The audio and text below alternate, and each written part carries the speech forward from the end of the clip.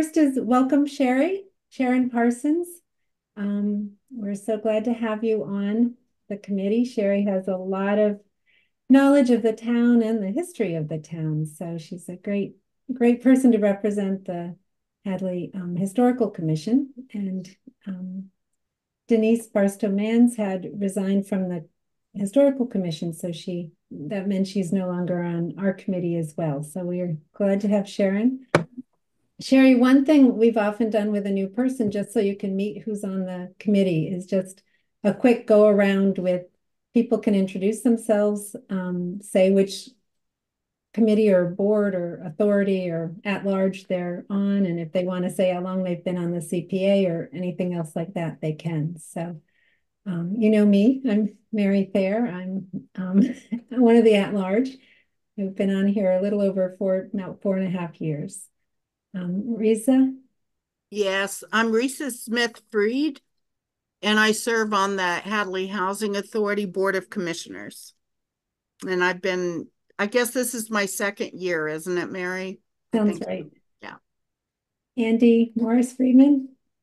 Hi, welcome to CPA. Uh, I'm Andy Morris Friedman. I'm at large.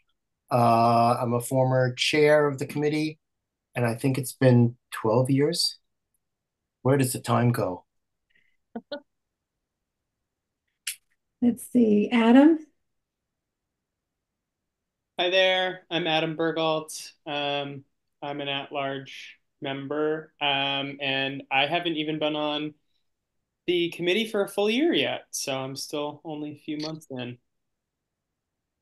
And Mark and Adam's our treasurer. Mark? I wasn't sure if I could say that because I I thought we still had to do the official election. okay. Well, we, you, yeah. um, Mark?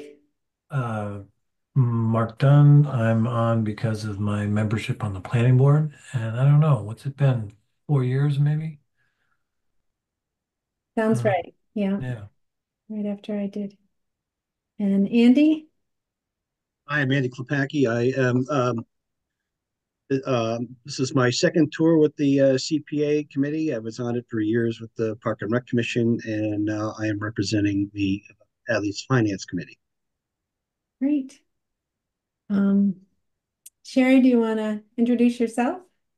Hi, I'm Sherry Parsons, uh, um, or Sharon Parsons, depends upon how you happen to know me. Um, Sherry's fine. That's what my family calls me anyway, and church. Um, I taught at Hopkins Academy for 25 years. I taught social studies um, and taught altogether for 38 years.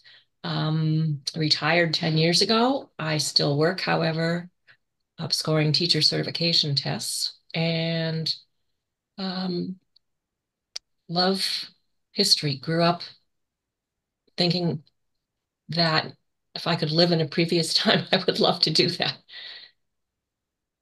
Thank you. And we've got Diane. Um, do you, we're just introducing ourselves, Diane, with how long we've been on the committee and, and you're muted still. I know they're talking on the phone, so sorry. Happy to be here. Glad to have you. Diane's from the Park and Rec. Yeah. Great. Um, all right. So we have minutes from March 4th. Hopefully everyone had a chance to to um, read them over. I didn't forget anyone, did I? For no, I think we're all set. Um, oh, Kayla, I should. Kayla's important to meet too, Sharon. Where's Kayla here? Hi, I'm Kayla. I'm the um, staff person for the CPC. I also work for the Conservation Commission, Planning Board, and, and ZBA, and I've I've been around since almost a year now, working for the CPC. I'm so glad to have you. Yeah, I don't know why I'm called the uh, secretary when Kayla pulls all the weight. Y- You have the legal responsibility. Oh, thanks. Yeah, I get the liability. Okay, great. Would someone like to make a motion to approve the March 4th minutes? I would make a motion. Second, anyone? I think Risa is doing it, but she's muted. Okay. All right. Lisa, second. Yeah, second. Any Second. discussion? Um, Kayla, do you want to do a roll call? Well, uh, can we, um, is there any discussion? I said it very quickly, so I Oh, okay. didn't give much chance. I, I had a question for Andy that might, uh, I thought, what was the name of your, uh, state level steering committee? Uh, I think it was item twelve, just called it the steering committee. But it was, wasn't there a long name for CPA Coalition Steering Committee. CPA Coalition Steering Committee? Yeah. I, I, I think that would be informative if we could add that, you know, expand item twelve to just call it that. Great. Good idea. EP, CPA Coalition. Coalition Steering Committee. Hmm. Okay. Yeah, I can update that. Because I'm on the Smart Growth Steering Committee and just steering committee could be too broad. Good idea. Any other discussion? Kayla, do you want to call the vote? Okay, roll roll call vote. Mary, Yes. Risa, Yes. Andy Morris Friedman, Yes. Sharon, I'll abstain since I wasn't present at the meeting. Adam, Yes. Andy Klepacki, Yes. Mark Dunn, Aye, yes. and Diane. Yes. Great, thank you. Treasurer's report, Adam, and I can. Yeah. Thank you, Mary. Um, Let me share the screen. I'll just wait till wait till it's up. Can everybody hear me okay? Okay, I'm seeing thumbs up. All right. Me go up to the beginning Yes, and over you. to the side. Yeah, so we're gonna talk, uh, I'll go through first what we have available in our reserves. Um, as of the updated, uh, financial reports we received from the accountant. Um, so, uh, in our open space reserve, we have seventy-nine thousand three hundred dollars. Um, in her, we have nothing available in our historic reserve as of right now. In our housing reserve, we have three hundred and eight thousand three hundred and thirty-nine dollars. Um, we have in our, our fund reserve the money we're trying not to utilize we have 500000 that's money we're trying not to not to have to use. We're always trying to make sure we have $500000 set aside um, that we don't have to tap into. And then in our undesignated fund balance we have $1,471,686 um, that subtotal is $2,359,325 and then reserved for upcoming expenditures, um, we have seven hundred sixty-two thousand eight hundred and one dollars. Um, and that total is is our total CPA fund, which is three million one hundred twenty-two thousand one hundred twenty-six dollars. Um, scrolling down, if we're looking uh, at our revenue ledger, um, which is starting in um, row 17. Um, for 2024, our the CPA surcharge that we got from the town was $347,332. The state uh, distribution was 175,606, which was a 53% match. Um, still better than most towns uh, get, um, but not as not as good as previous years. Um, that subtotal is five hundred twenty-two thousand nine hundred thirty-eight dollars. Um, our earnings on investment were seventy-nine thousand three hundred five, and the total is six hundred two thousand two forty-three. Um, so those are our updated numbers um, as of 2024. Um, Mary, you didn't want to talk about our estimates for uh, 2025, correct? At least not right now. Right. I think what you did is great. The only thing I would add is the um, Hopkins borrowing on top of the for the seven hundred and fifty thousand. As of six thirty, it was four hundred and twenty-seven thousand had been already spent of that. It's now about five hundred forty-four thousand. Um, so there's still over two hundred thousand left um for for bills coming in from the from the fields. So That's that's, that's in addition to what we're seeing here. Yeah.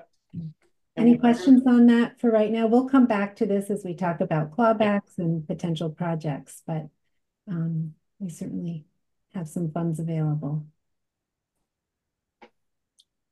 Any other? All right. Good. Thank you, Adam. No problem.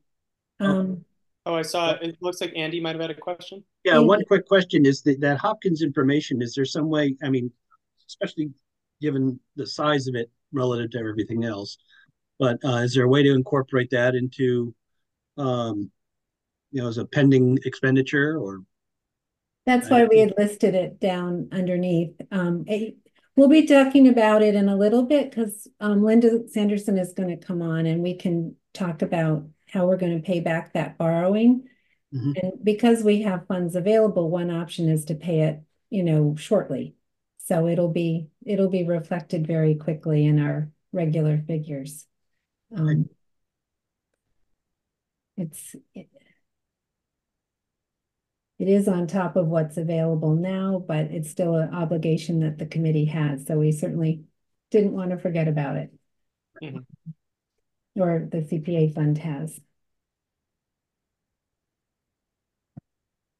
Moving Thank you, on, Adam. go ahead, Mark. I was just going to say thank you, Adam, for that. It's always a little daunting, all those numbers. Yeah, for sure. I'm still wrapping my head around it. So if anybody has questions, please let me know because it'll be a learning experience for me too.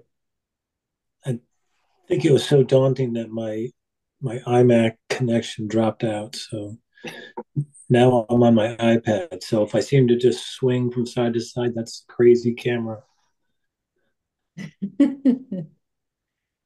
Um, next we have, since it's September and we've got new members, the year starts again. Um, it's time to elect chair, vice chair, secretary, and treasurer. Currently, the slate is I'm chair, Andy Morris Friedman is vice chair, um, secretary is Mark, and treasurer is Adam. Um, before we ask if anyone's interested in those positions, is everyone that's currently serving willing to be- continue on? Um, Andy? I would- Go ahead, Andy. You're you're muted, muted, Andy. If only that happened at town meeting. Um, I'm happy to continue serving as vice chair. Um, but I would suggest that maybe one of the new people would want to be vice chair and you get to help Mary and uh, learn a lot. So so think about it. And I'm I'm happy to not be vice chair again if a new person wants to try it. And it's not that much work. Mary does all the work. Adam? I'm I'm happy to continue as the treasurer. I just started, so it'd be a little silly to stop now. But um, if somebody has a desperate bid for it, I guess I won't fight you. Mark, are you? Yeah, I will continue to p- plead and bribe anyone who would like to be the secretary. It's uh, it's quite a burden since Kayla does all the work. Does anyone else on the um CPC wish to be any of those positions? Don't all speak up at once. Just want to make sure everyone has a chance. Um, would somebody, therefore, would somebody like to make a motion to um elect the slate of officers as Mary Thayer Chair, Andy Morris Friedman Vice Chair, Adam Secretary, Adam Treasurer, and Mark Secretary? I Can- that we adopt the slate as Mary just articulated. I don't think I can motion or second if I'm running. Second, Okay, thank you. Was that, that, was that Diane or Sherry? Was that? Me. Oh, Sherry. Sherry. All right. Roll Um, call any- vote or any discussion, sorry. I just, you know, I, I just want to shout out to Andy Morris Friedman is he gets a lot of emails from me saying, what do you think about this? And also he's been the main one to help people with applications, which is huge to be able to respond right back and help people with questions. And so I really appreciate that. And Adam's done great. We've spent a bit of time together going through this stuff and he's jumping in, tackling it, which is great. So appreciate that. Could I make a motion that Mary be chair forever? That doesn't work. I'll, I'll second that one. Well, how about as long as she wants? How about that? There you go. Yeah, for anyone. And I'm happy that Andy is uh, Elastiboy, that when a previous administration flicked him off, he bounced back. Where would we be without you, Andy? Oh, shucks. My head is swelling. All right, let's vote. Yeah, Kayla, Um, roll call vote, Mary Thayer, yes. Risa, Yes. Andy Morris Friedman, Yes. Sharon, Yes. Adam, Yes. Andy Klepacki, Yes. Mark, Yes. and Diane. Diane. All right. Um, all right, we're on to our applications. Um, we're gonna start with, I think, the quick one, which is um the Hadley Historical Commission. So Diana, would you like to talk about what you have and what your committee has in mind? I'm actually gonna pass it over to Brianna Quinn as she was the main author on the application.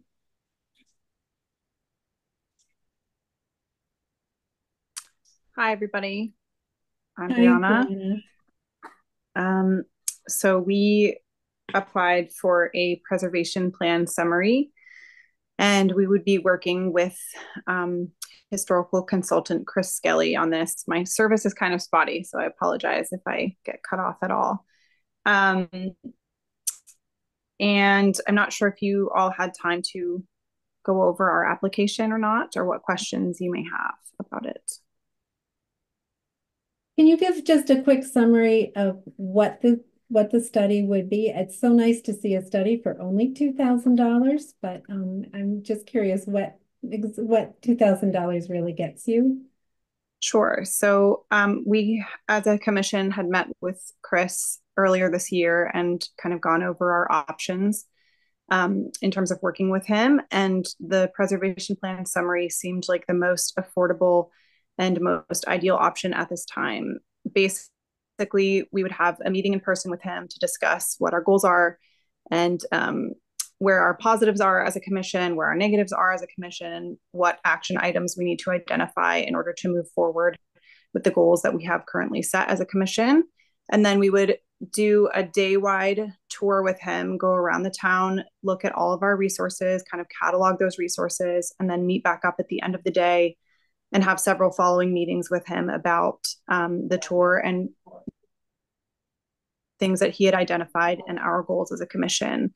And then he will essentially draw up a report that will then be sent to us, which we can then forward publicly to the town or whoever is interested in it. Um, and it will help us identify the items that we can work on as a commission. And we felt that it was a significantly more affordable cost than a true preservation plan at this time. Very nice. Do people Does anyone have any CPC any more have questions? And I have visions in my head about all the resources that are out there. So I'm just curious as to, you know, with all the historic buildings that we have and then historic locations, site markers, things like that. Maybe if we had a better sense of, I, I, if it's all spelled out in the application, I apologize. Um, is, is there like a preliminary list that you you have in mind, or um, that be open for a couple um, additional public comment? Well, we have Yes, yeah, we have the um the MACRIS available to. Oh, sorry, sorry if I'm interrupting you. My service is kind of going in and out. Um, we have the list that we currently have on MACRIS to kind of go off of, but we were hoping that Chris would be able to put together kind of a list that we don't currently have available. We have MACRIS, but we feel that we don't have um, kind of a rounded out, more extensive list of all of the historical resources that are available to us in Hadley. So that's part of the goal of this preservation plan summary would be to kind of make a list that encompasses everything. We are open for suggestions if you want to email us. Andy, I saw that you had you a question, I think. Sure. Um, is the tour open to the public? Or is it just for the commission? I think, hi, this is Diana. I think that um technically we would have to open it to the public because we would have to comply with open meeting laws, which would require our meeting to be open to the public as when we have a quorum, we have to comply with those laws. Um, I I think it won't be something we would want loads of people at, not to discourage anyone to come. If you're interested, we'd love to have you. Just um, in terms of efficiency, uh, I think this is mainly geared towards current commission members. Is Mary, can I just interrupt so I can give you good news? Yes. If, if it's a tour with your committee, you can have a quorum. You don't need to post it. If it's just a tour, you just can't do any deliberating during during the tour. Ah, see, that's that's my concern that deliberating might ha just happen on the fly. So in that case, I would like to post it as a meeting just to make sure we are in compliance with open meeting law. But thank you, Carolyn. That's very helpful. Okay. Because I think uh, I certainly would want to go on it. Um, and I think it's a great way to build support and publicity for this project and greater projects in the future. So I would encourage you to uh, invite the history lovers. Uh, I guess my other question is, um, why just do a summary? Why not just uh, pony up the money and uh, do the whole plan? So the whole plan would cost upwards of $40,000. And we would really want to work with town leadership to uh, make sure that we are all working together on the that goal. And also that process would probably require us to put out an RFP, make sure we're getting bids, make sure we are going through um, picking the right consultant for a project of that magnitude. And this summary instead will really provide us with a roadmap of what we need to do next. Uh, and perhaps it'll tell us that a full preservation plan is what we need to do next, or it'll tell us that we need to work on a demolition delay bylaw or a local historic district or other historic preservation uh, bylaws. So this, we want to start here because we're just, we're not at the point in terms of um, a relationship building to do a full preservation plan. Okay, so this is just like the first part of a longer process. Yes. Okay. And Yeah. and I can imagine that, you know, because of public procurement, you know, so under ten thousand, you can, as long as you follow good business practices, you can choose whoever you want. So you'd feel more comfortable instead of just getting some low bidder. Yeah. Correct. Yeah, I think this Um, is a great project. I've been trying to get something like this done for years, and uh, I I support it totally. Thank you. So let me just, I should have prefaced this by saying, just a reminder, we are not voting on recommending or not recommending the applications today at all. This is Right, discussion. This is for us to ask mm-hmm. questions, think about answers. If we need you to come back with, you know, if we ask questions, you need time to figure out the answers to. And then at our next meeting on September sixteenth is when we'll vote to recommend it going forward to town meeting or not. So just to. Spell So I, I do have a question because Andy brought up a very good point in that if we do open it to the wider public, we get that great response. Should we be considering asking you guys for a little bit more money to perhaps cover a bus to carry all of those people around town? Hmm. Buses. That seems kind of problematic in terms of approved use. Okay, Carpool. And I think you're very optimistic. or, or bicycle. Bicycle. Bicycle. Andy's gotten me very optimistic. There's a lot of people in town who love local history, and I don't think you'll have a problem. Very good. Any other comments or questions at this point? Diana, correct me if I'm wrong, but it's really more of an uh, information or fact-finding tour more than it's a historical tour. Am I correct? Correct. Mm-hmm. Right, but there's a lot. there's a lot of people who know a lot of stuff about the history of this town. You know, have you considered this? Have you been here? Have you thought of that? You know, oh, we did that 25 years ago. You know, people know a lot. Mm-hmm. Seems to me this is kind of a way to hire a professional to help your committee look at how best to use your resources and go forward. Yes. That's correct. Yeah. Who just raised their hand? Andy Klepacki had a question. Well, I was just going to uh, tag on to the same comments, which was if you know if you put it out there in advance, you could get some of that information taken care of. Obviously, your focus would be on efficiency if you're trying to do this in one day, um, and you could get sidetracked at, a, at signposts all over the town. So in order to build your route and and make it efficient, you know, you, certainly you have to balance how much open you want it to the public versus setting an itinerary and sticking to it. Um, because certainly, uh, you know, mission creep could take that day up really rather quickly. So that was part of the, you know, thinking behind uh, putting out the list early and seeing if people want to contribute up front.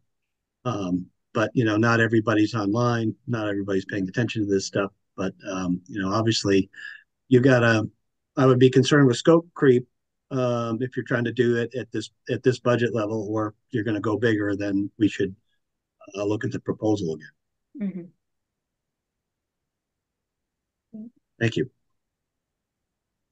anything else for the historical commission oh diana would you please while you're here um, mm-hmm. you were somebody on on the committee just i know you we you were here not too long ago with your project that had three phases. And if you could just do a quick update on each phase, um, that would be great. Definitely. So the three phases of the project that we received funding from the CPA for previously were to put up four historical information signs. And I'm happy to report that the signs are now installed. Big thank you to Dan Ragish for volunteering his time and his talents to install those for us. And I invite all of you to join us for an unveiling of the one on the Common uh, next week on Thursday, September 5th at 6 o'clock. And then the next one is updating the West Street walking tour. So we are very close to finishing that. We are circulating a proof right now of it uh, to finalize that before we go to print.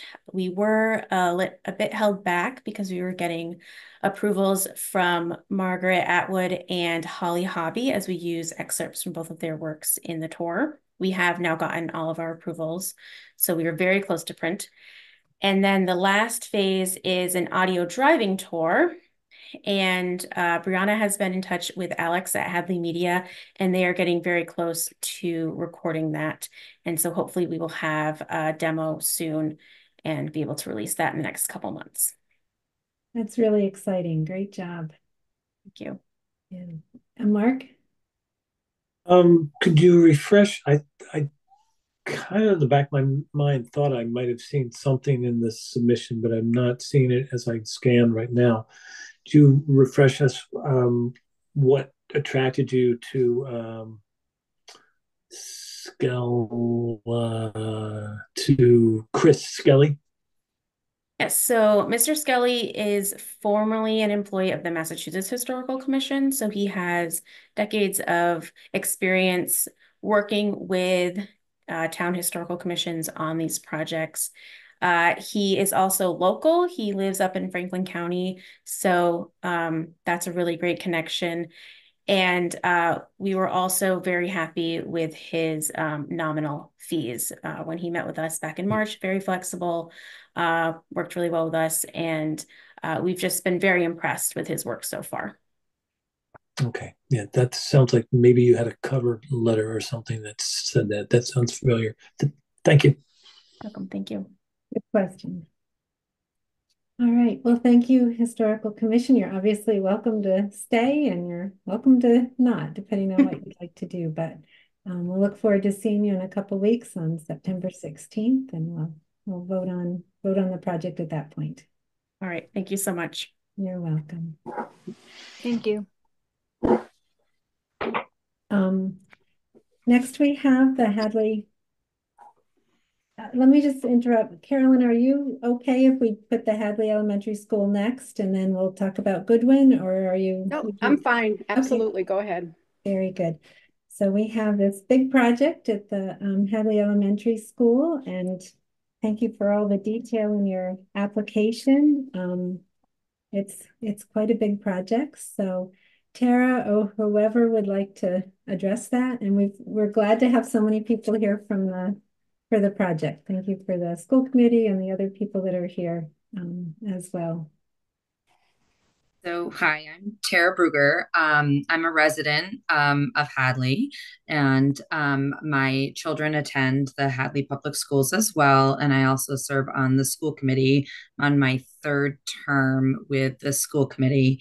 Um, and just to quickly address, so you know who's on the call as well. So, Dr. Annie McKenzie, our um, superintendent, is here. Chris Desjardins, our business manager, is here.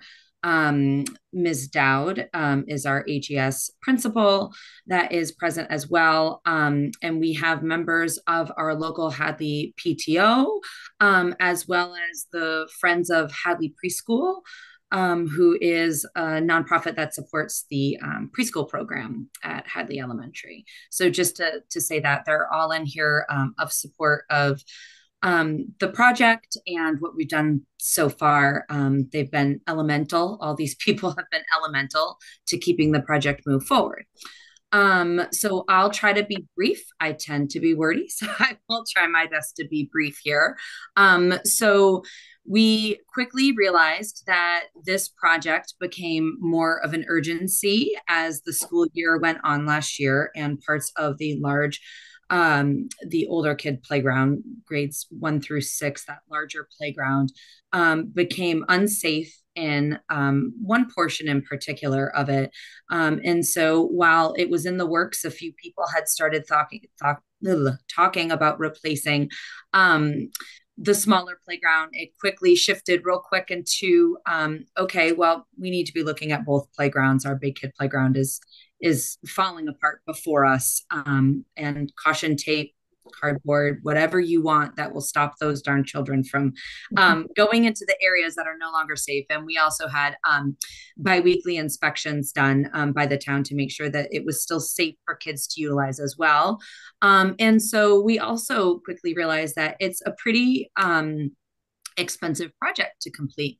We were able to do a lot of front loading with um, the actual structures themselves through fundraising. Um, so the school, we are utilizing um, $100,000 from our school of choice um, funding, we were able to allocate that fund. Um, and as you see in here, we've got other various large donors. And that is kind of the, the first part of the project would be to get those um, to get those new structures placed.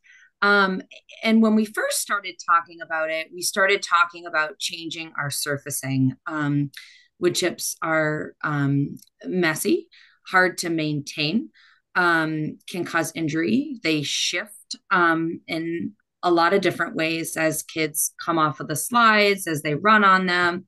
Um, if they fall, they can get injured. Um, some in the preschool and maybe even kindergarten might say to you, children like to pick them up and may put them in their mouth or or throw them at other people. Um, so so it quickly started this discussion of changing the surfacing of the playground to make it um, more accommodating to our children um, make it safer for all of our children to be able to utilize. Um, the the surfacing that we're looking into is the poured in place rubber surfacing. So it once it's placed, there's a whole process around how that's placed. Once it's placed, it will not shift um, as a kid goes down the slide. If they're on a swing, it will not move as they go up the swing or as they run. Um, kids obviously won't be able to eat or throw them. Um, it also makes the entire um, play area um, accessible to everybody, which is now actually not possible um, right now with what we have. So the new playground will um, meet ADA requirements, and then this would just make it easier to access all areas of the playground instead of just certain portions of the playground itself.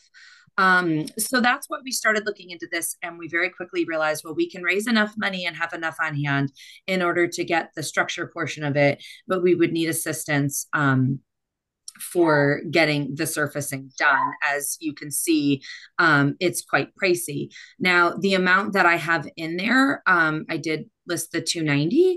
Um, we we have not hired a contractor. We don't want to hire somebody to then not have the funds in place and then have to um, have to go back.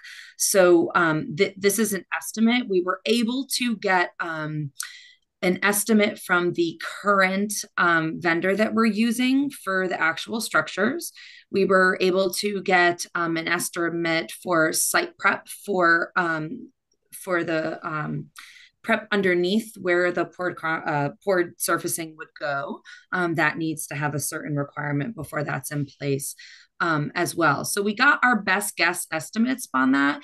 The number uh, the number may change slightly. Um, we would go out to bid and find a contractor that um, was most cost effective that met our needs that you know the safety and requirements they're looking for um, but we would also go out to bid to find that so um, that might shift but this is i feel this is a pretty darn good estimate given that we've gotten um, quotes from people this is what they this is what they do. So the premier park and play who's doing the playground gave us a quote on what it costs to do the surfacing um, valley excavating as you can see in the um, packet that we put together was gracious enough to put together an estimate of now of course that would be what they charge.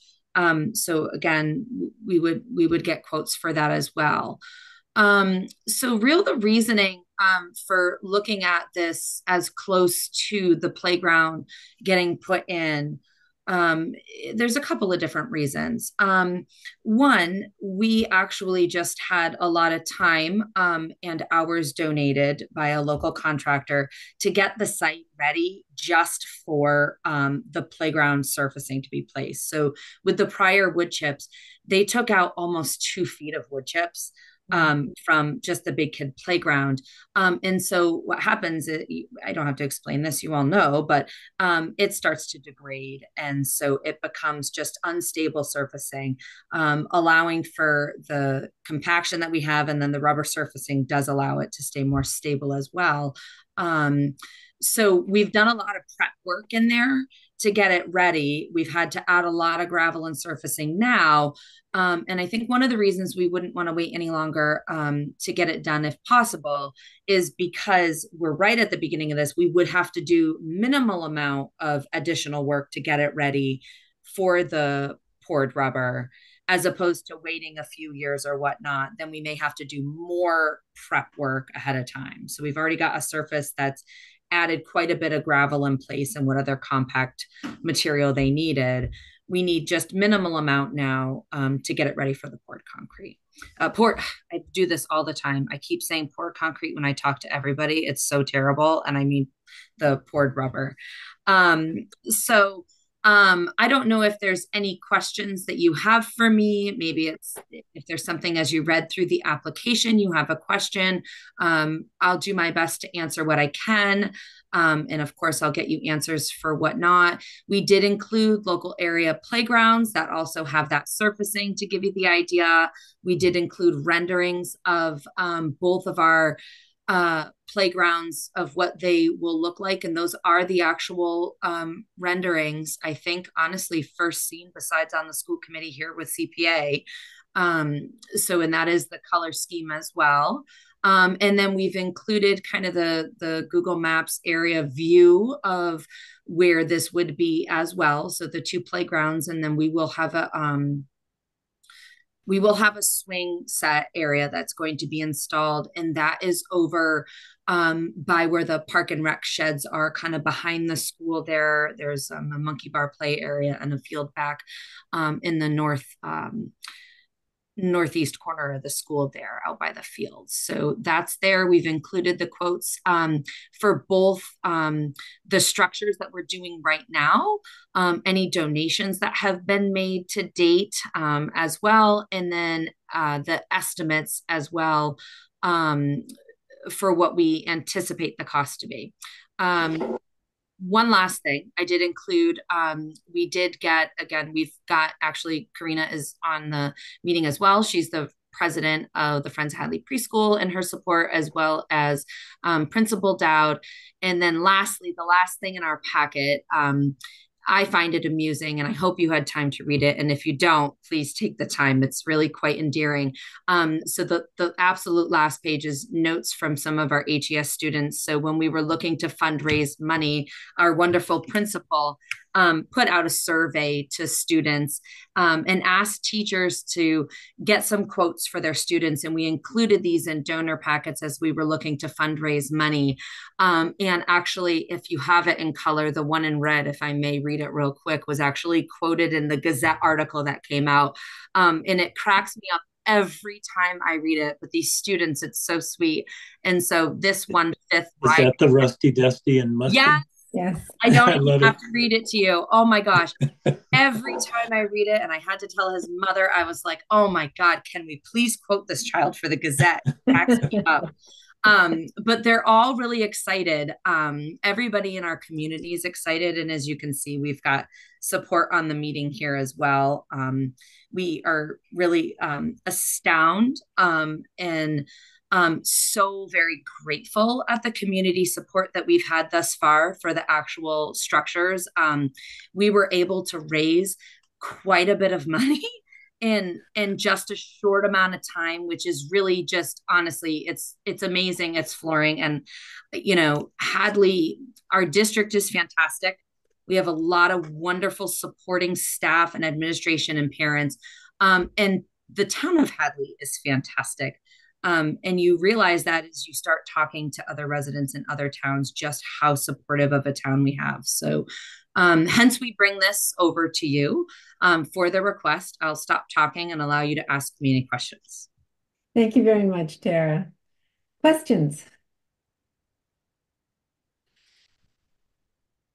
So What is the- Sherry. What is the lifespan of this um, poured in place rubber? Uh, So the lifespan, um, since it's still somewhat fairly new in our area, can go, they say, up to 20 years. Now, the warranty, depending on which company you choose to um, invest with, can vary. Um, I've seen them about, so the actual warranty for the product, 10 years. Um, but then lifespan is, is longer, so 20 years. Um, our current playground, so our building HES was built in 96. Current playground, and Sharon, you might know this better than me, went up a year or two later um, from the building being built.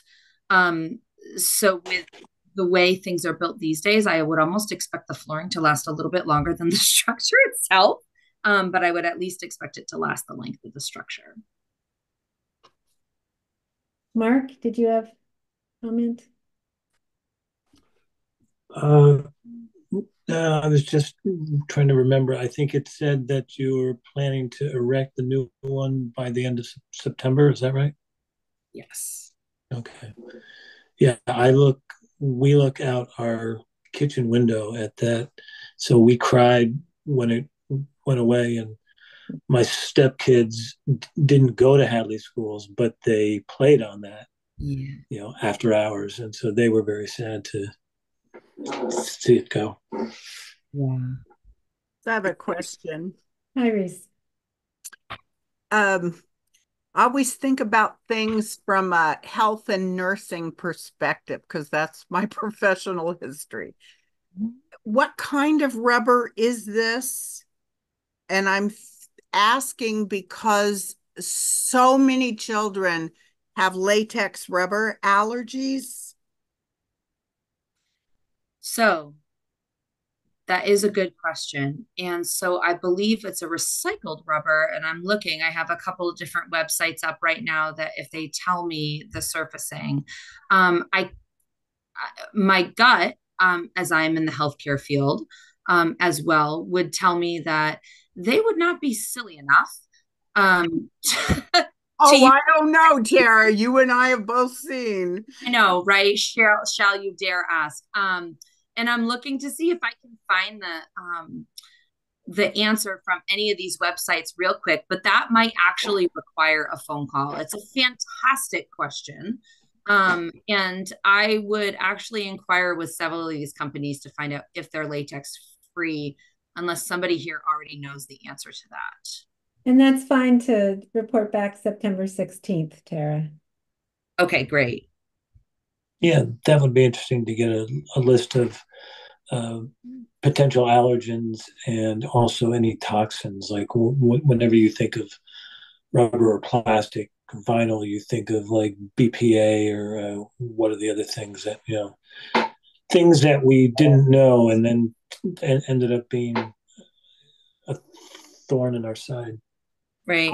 I'll add to that, uh, uh, just piggyback on what Mark was saying.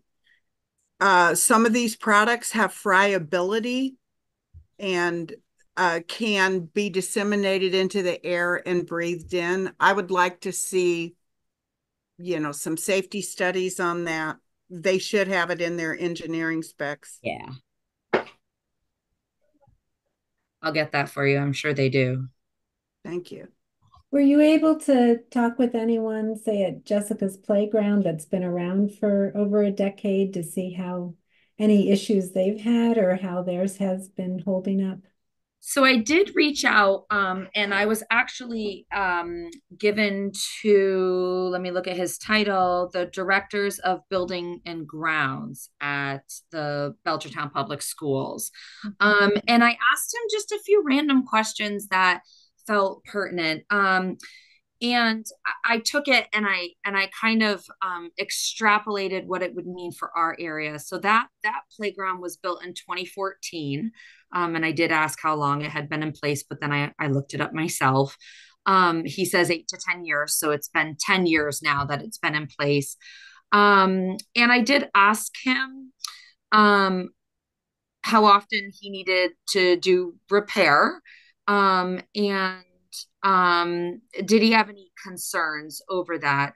Um, and I think that he said, um, I'm trying to read real quick. Um, he said that the, um, the surface can tear and need patches um, in high use areas. Um, and so I looked at that. Um, so first off, they're 10 years in right now, um, and they still have the same surface there. Um, I did talk to somebody at Groff Park and they can patch it. Um, but I also look at those and there's no there's no count studies so i don't think that anybody is keeping track of kind of the the foot traffic at either of these although i can ask to be sure but i especially at belchertown schools. Um the foot traffic i i think is much higher at, at both areas. I know jessica's boundless playground even when it just opened up was attracting children because it was one of a kind in the area when it was built. Um, we frequented it quite a bit um, when my son was younger. Um, and it's always busy. There's always people there. Um, same thing with um, Groff Park, but I do know that Groff Park is a less easy comparison because they had actual water troubles at their park. So I don't know they're a, a, a very useful comparison. So 10 years in place, they've had to do a little bit of wear and tear repairs. Um, I did ask him um, if you had the opportunity to do this all over again, would you use the same surface? And I haven't heard back yet. So I would be curious to what he says. Thank you. Well, it's Groff Park is beautiful. I took my granddaughter there a little while ago, and it was a very, very hot day, one of these hot 90 plus days. And um, I will say the surface was so hot you had to, you could not be on it in bare feet. But I think that's probably true of most surfaces on a day like that. Um, but it is it is beautiful and it, you know, it seems like it would help if people fall not to be hurt as much. Um, and I will just tell you too, um, we in there is no formal plan. This is the the the fundraising committee's plan is to really look into seeing if we would be able to provide um, shade over the structures themselves as well, which would also um, help the longevity of the surface as well as the structure itself um, and the children. um, so all three. So that is something we're looking into. Um, it is, you know, a small group of us, so we're we're pulled in a lot of different directions. So I'm we're taking it, you know, kind of a stepwise approach to where we get that, but that is on our minds as well. And I think Chris Desjardins has his hand up as well. Um, Chris, I can't see your hand, so.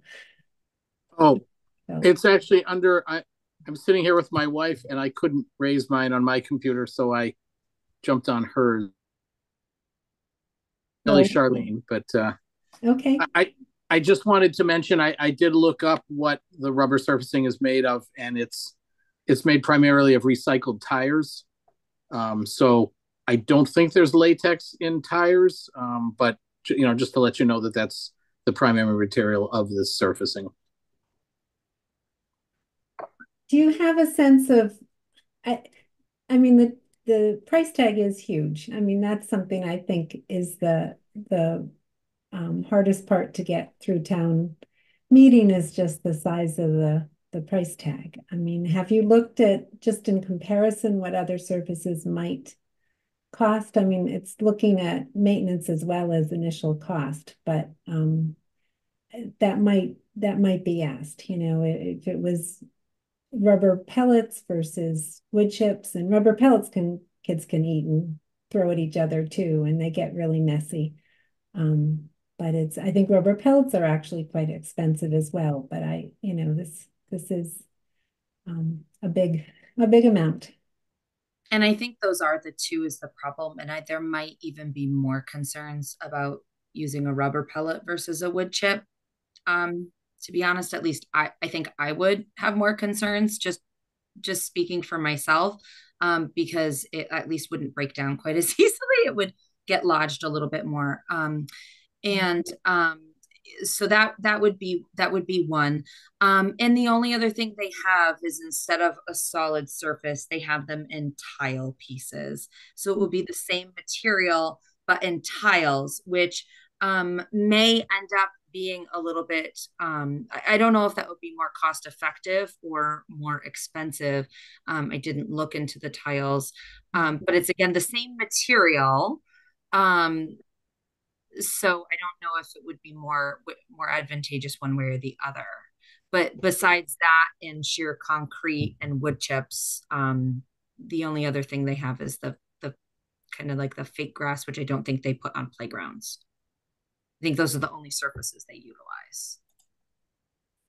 well this is a wonderful project for hadley and for the school and and the whole playground area and my my kids were in school when the last one was put in. They they were first ones in the school when it was built, and I have grandchildren about to do that. So it's it's fun to you know, generation later. It's it's about time. Um, other CPC committee questions or comments? Andy Morse. the CPA has put some other money into uh, that area, like uh, the um, the uh, um, Pavilion. not not the the pavilion. Thank you. Yeah, that area as well. So CPA does have a history of supporting that that uh, that part of the community, and as well as you know playgrounds and the like up at uh, Zaturka Park. Yeah. I'm going to have to do a little offline research when we were. I know when uh, the Park and Rec Commission was looking into uh, they um, ground surface, play surface up there around that area. Uh, this was years ago, of course, and you, you know, you, you're all right. That was very yeah, the, the, most expensive part of it was how do we um, protect the kids against uh, gravity there, and uh, trying to flood that area with with uh, either the rubber pellets or these rubber chips. Uh, were all very expensive propositions. But you know, sometimes you get what you pay for. Andy? I, I would just like to jump in and, and add, thank you so much. I, I'd like to thank Tara for putting the application together and and really, you know, the families that have come to this meeting for advocating for the completion of this project. Um, the matting that we are going to be putting down in the meantime for it to be ADA compliant will only be in a small section. And so it's really important for our families and for our students and for community members to be able to have full access to both the, the preschool playground and also the big play structure. Um, the play structure is being de um, delivered on Wednesday. So anybody that wants to come in and look at the, I, have heard three tractor trailers uh, full of equipment that will be delivered to the elementary school on the first day of school. So that should be exciting. But really the completion of this project, our hope is to really just be able to have a playground that's accessible for all students and all children, all community members. Um, I can speak from experience that the wood chips, hi, the wood chips. Um, hi, Nora. Hi, everybody. Everybody excited for school? Yeah, I heard Yes. your voice. Sorry to interrupt you. No problem. We're excited. We're getting the school ready for you guys on Wednesday. We can't wait to see you.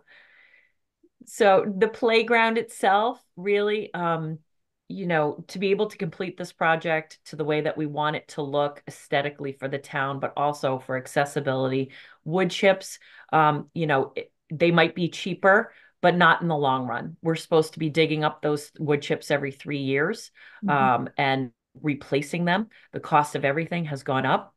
And so fiscally, it would be more responsible of us to use funding for the rubber matting.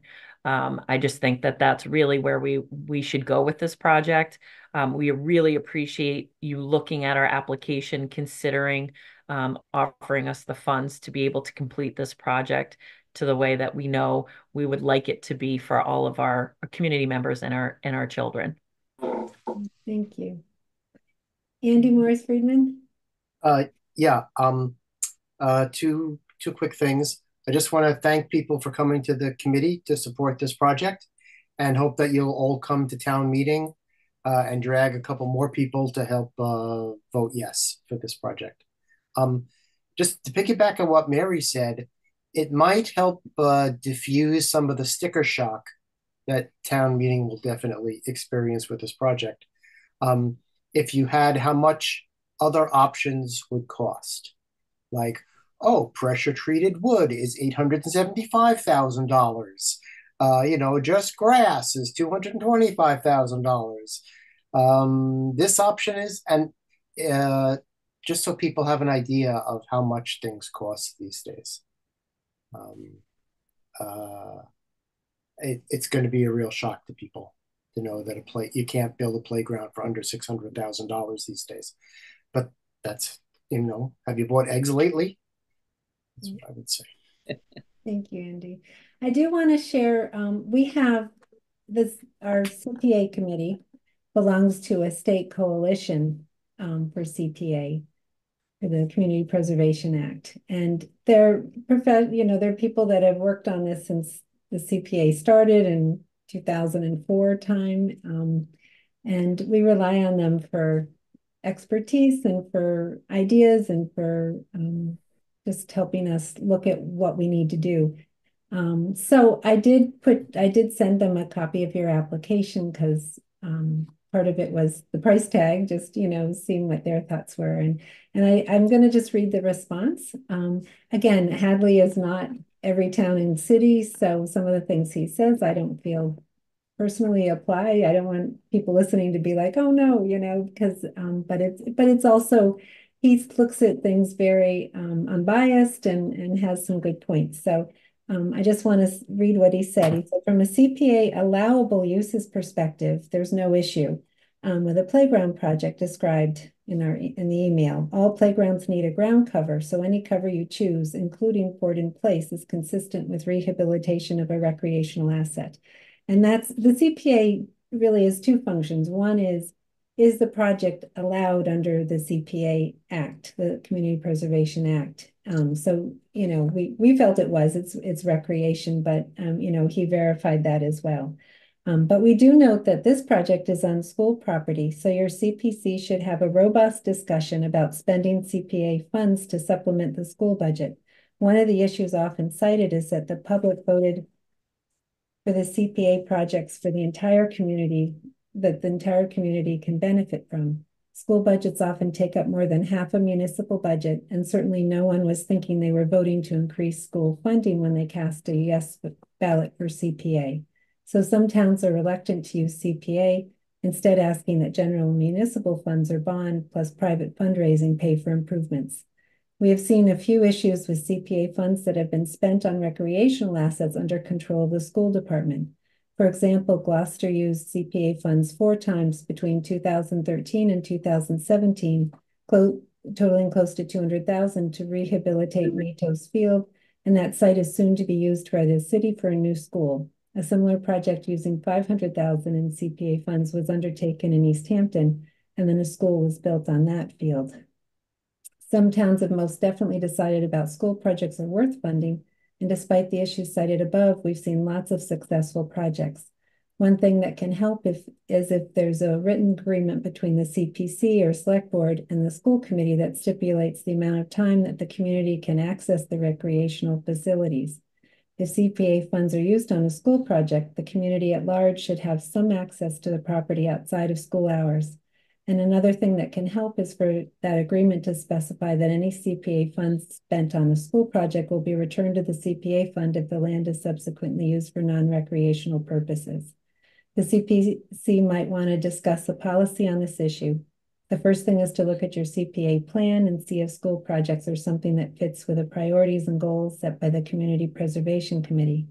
If the plan doesn't address school projects, you might want to amend it once you've had a policy discussion on the idea.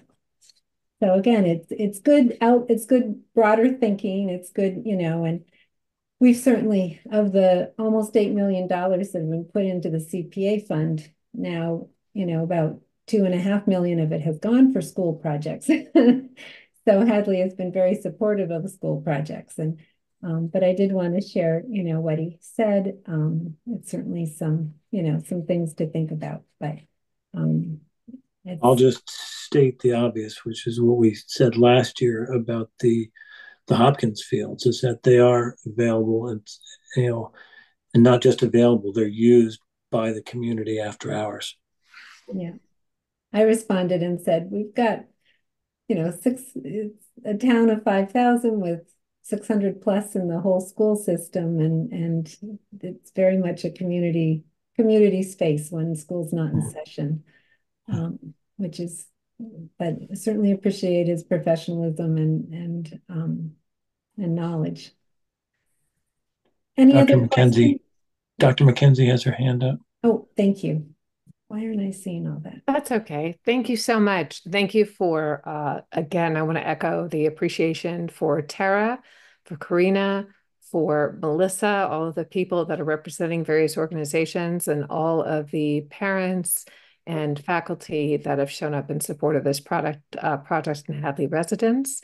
Uh, thank you, Ms. Dowd, for your leadership on this, and thank you to the CPA, the committee, for listening to us.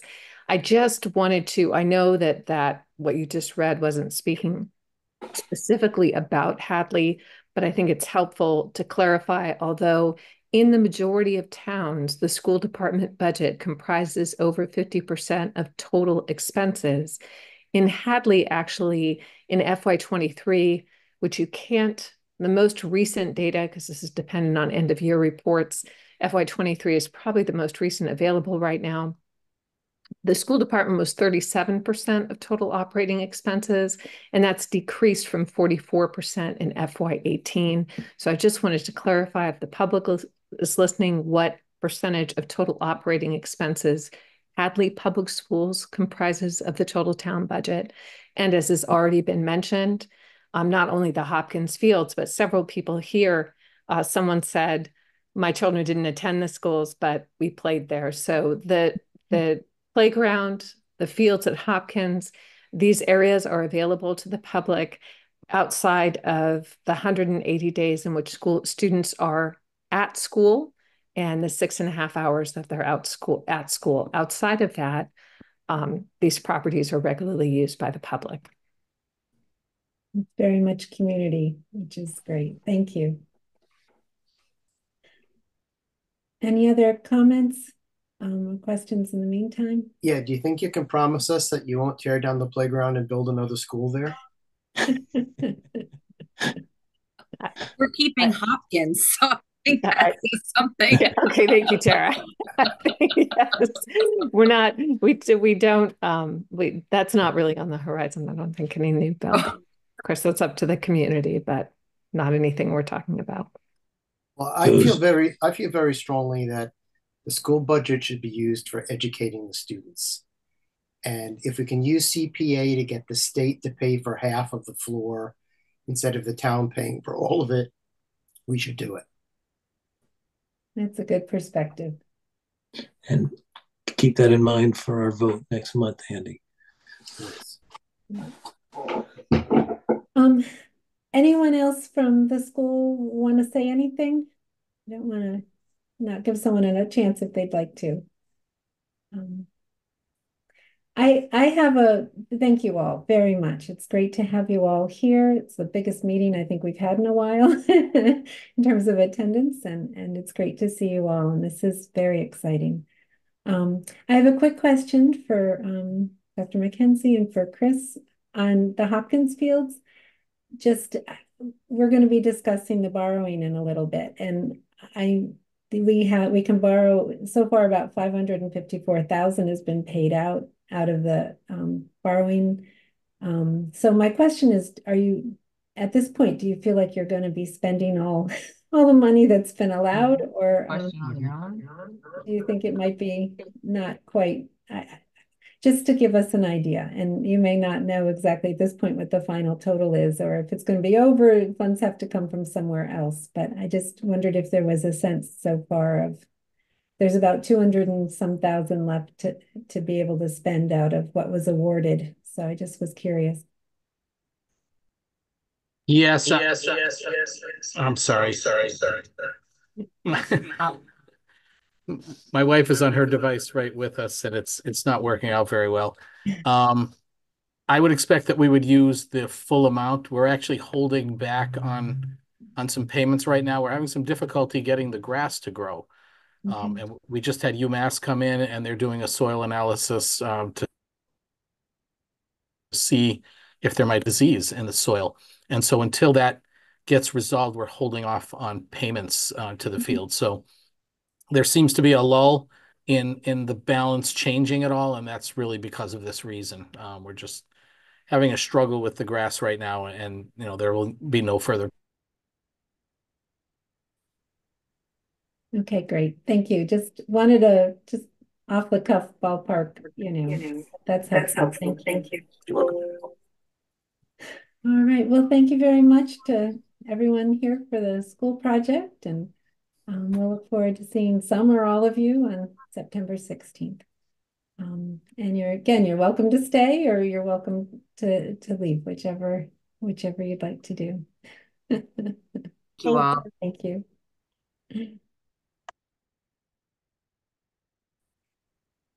All right. Um, okay. Well, this is down to a much smaller group. Um, we're just missing Ray from our committee, and we're we usually take a break in, but I want to get don't want to make Carolyn wait through a five minute break. So, Carolyn, would you like to um, talk about the Goodwin funds and, and what you're envisioning, and anything else you'd like to tell us? Okay. Um, so I in the, in the intent of really um, continuing to keep the historical significance in the ownership of um, Goodwin and Town Hall, obviously those are town buildings, they're going to stay.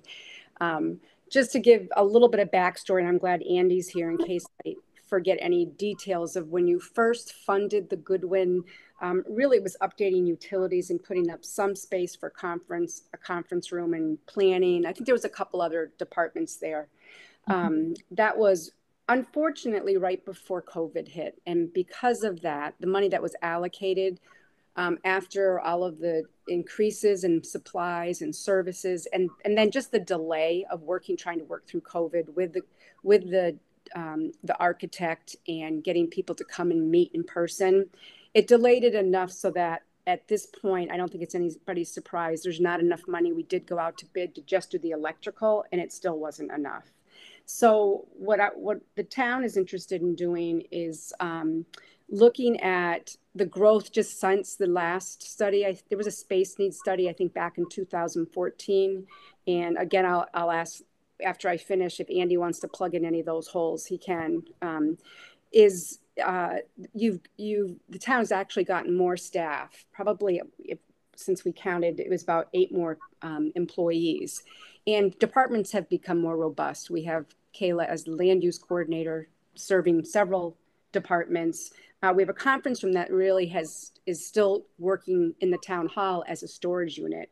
Um, and so uh, we have an you know the hr director positions and another there's an assistant in the hr so it's been growing but the space has been stayed the same so the intent is to to ask uh, cpa to take that money that is in the goodwin um, and do a complete space needs study for all of the municipal um, departments that uh, really were originally come you know the Goodwin was going to have a breakdown, and then the town hall, who's ever who's already in that space, that's getting very probably inefficient and cramped, and um, having a professional come in to take a look at what our space needs are and our staffing and our projection of additional staff to see if the Goodwin in the town hall could be one study to look at what is the most efficient way to break up those departments and what would it what would it cost. I think we're all finding i know people get so frustrated with studies and designs and all like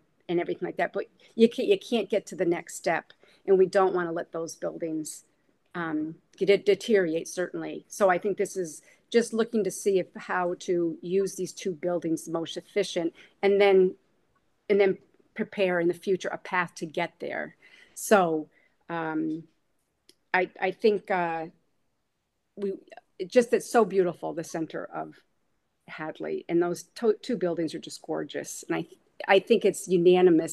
From what I can hear is those they want to maintain those buildings and use them as efficiently as possible. So this is a request the select board support it um, to get a study to do using the funds from the Goodwin to do a space study. I did check with town counsel to see if it was under the true intent of the authorization at town meeting, and town counsel felt it was. Um, I'd like to read what the Article 20 was in back in 2020. Um, and just want to say welcome to Ray. I see he's joined us, so I'm glad you're here. Yeah, sorry about that. I I've been battling like the last 45 minutes trying to get my microphone working. Oh, okay. All right. Well, well, glad you're glad you've been participating. Thank you. Yeah. Um, Sorry about that, folks. No, that's fine. Article 20, to see if the town will vote to transfer $226,093 from the Community Preservation Act General Fund to the Hadley Select Board for the renovation and conversion of the Goodwin Memorial Library building into town offices and all incidental and related expenses for historic preservation purposes said expenditure to be conducted within two years um, or returned. And it was so that would have been 2022, and it was extended for two more years. Um, so it was up actually in June of 2024. And we had at the time said, well, we'll just let it run out. There wasn't anything happening. So Carolyn has said, as is asking if we can, um, there's, and then there was 20, there was 25,000 to conduct a study for um, an elevator to put it in the Goodwin till too. So um, right now there is um, 200, 202,000 plus the 25, so about 227,000. So part of the thought is, can this be, so the questions are, can this be extended, we'd have to extend this at town hall again, a town meeting. Um, and do we feel comfortable saying, yes, it's still within this purpose of using, rehabilitating the building to be able to use it for town offices? So the original intent was to actually do the work so that at the end of the project, it was ready to go. Now, now the intent is to figure out what is needed to be able to then put out a bid CPA or Townwise or however to pay historical funds um, to pay for actually making it work. So the end result is very different. The, the original end result would have been it's ready to move into the now it's going to be we now know what we need to do and what bid we need to put out. So I think that's that's part of where a difference is, but it's still getting it to spend funds on figuring out how to make it usable for town. Or do or do we ask the select board and town administrator to um, put in a, a brand new bid that's not using these funds? So I think that's that's kind of the decision to um, to be made. Um, Andy Morris Friedman. Uh, Carolyn, can you give us a quick rundown on what the money that was already spent was spent on? Oh, you're muted. You're muted. Yeah. I have to always do that at every meeting. Um, the, they are, the, the only money that's been fund, spent is the money for the architect. And a lot of that was to a keep asking him questions so that to try to put out the bid, right? And, and Yeah, we had a lot of difficulty with the bid as far as um, just the timing during COVID, as well as um, the original estimates just weren't even close to what it ended up. E- Each year, it's just gone up in it- such large amounts. Sure, sure. Um, of, uh, I don't know, the numbers are swimming in my head. Of the, what did you say, Mary? Two hundred and Here, let me, 226? let me share the, share the screen here. How, how much of that money do you think you're gonna need to conduct the study? So, you know, I guess the questions I was was asking, um, uh, you know, Gary and other people who have been involved with some of these projects that we're trying to get funded is it's so hard to get a clear estimate. I ca- I can't. I think for just the space needs, they're not going to be doing. They'll do a very basic design, but to just figure out the space need and where you should be putting departments is there is there make better sense to put the finance team those departments that do just finance in one building um, making it more efficient in another building you know these are just all the, the what ifs or what does it look like um, I, I do not think but i again it, i'm so gun shy making these estimates because i hear from contractors and i hear from architects and they'll say yeah you've got this is this is going to be much like what would be less than a hundred thousand. I i am too nervous to uh say that it would be wh- where exactly it would land. It would not be 227000 Um, what, what advantages are there for you if we listen to the attorney and just let you use the money that's been approved as opposed to returning the money that's left over and giving you a new project specific to these needs that town meeting would pass? Yeah, that's that's a really good question. I, I think the advantage to the town, but I, I can I think that's just a really that's probably really why I'm presenting it in this way to get all of your input um, because it is your it's your tax dollars that are paying for it. My concern is that it will sit and that it will stall if we if there isn't some movement to move forward. Um, and I do think that it's wise to look at the needs now, the needs that were before, and then the needs, you know, forecasting the growth in the town, um, to look at all of the municipal space that you have. And um, just remember Russell School, there are some really exciting options that the designer and that team is going to be coming up with. And that could, one of those options um, could include having some municipal space over there as well. But I think that it's that's going to be a little bit harder. Um, I think to, to have that that that building because it has so much archi- you know structural needs for it to make it a municipal building. Um, I think having these two buildings right near each other like this, and um, I'm told over and over again that structurally these two buildings are very sound. So I guess it's focusing on the most uh, the most room for success. Uh, so it's it's really it's going to be important to have all your feedback as well as what you think the pros and cons. I just I just I, my concern is if we stop and give the money back, it could stall, and I hate to see either of those buildings um, start to, de- you know, deteriorate. Andy Klepacki? Hi, thanks. Uh, sorry if I missed this number earlier, and, and I know Andy Morris Friedman was asking the question, how much of the money that's already been allocated are you going to need? I guess my question is, is the study? Andy, we've going to- lost your audio. Now we've lost you. Are you, am I, can you hear me? I can hear you. I can still hear him, Andy. Okay. Um, so how much of the, do you think the study is going to cost? I mean, uh, uh, obviously, um, timing is, as you say, we're, we're concerned about installing. This project got started in 2016.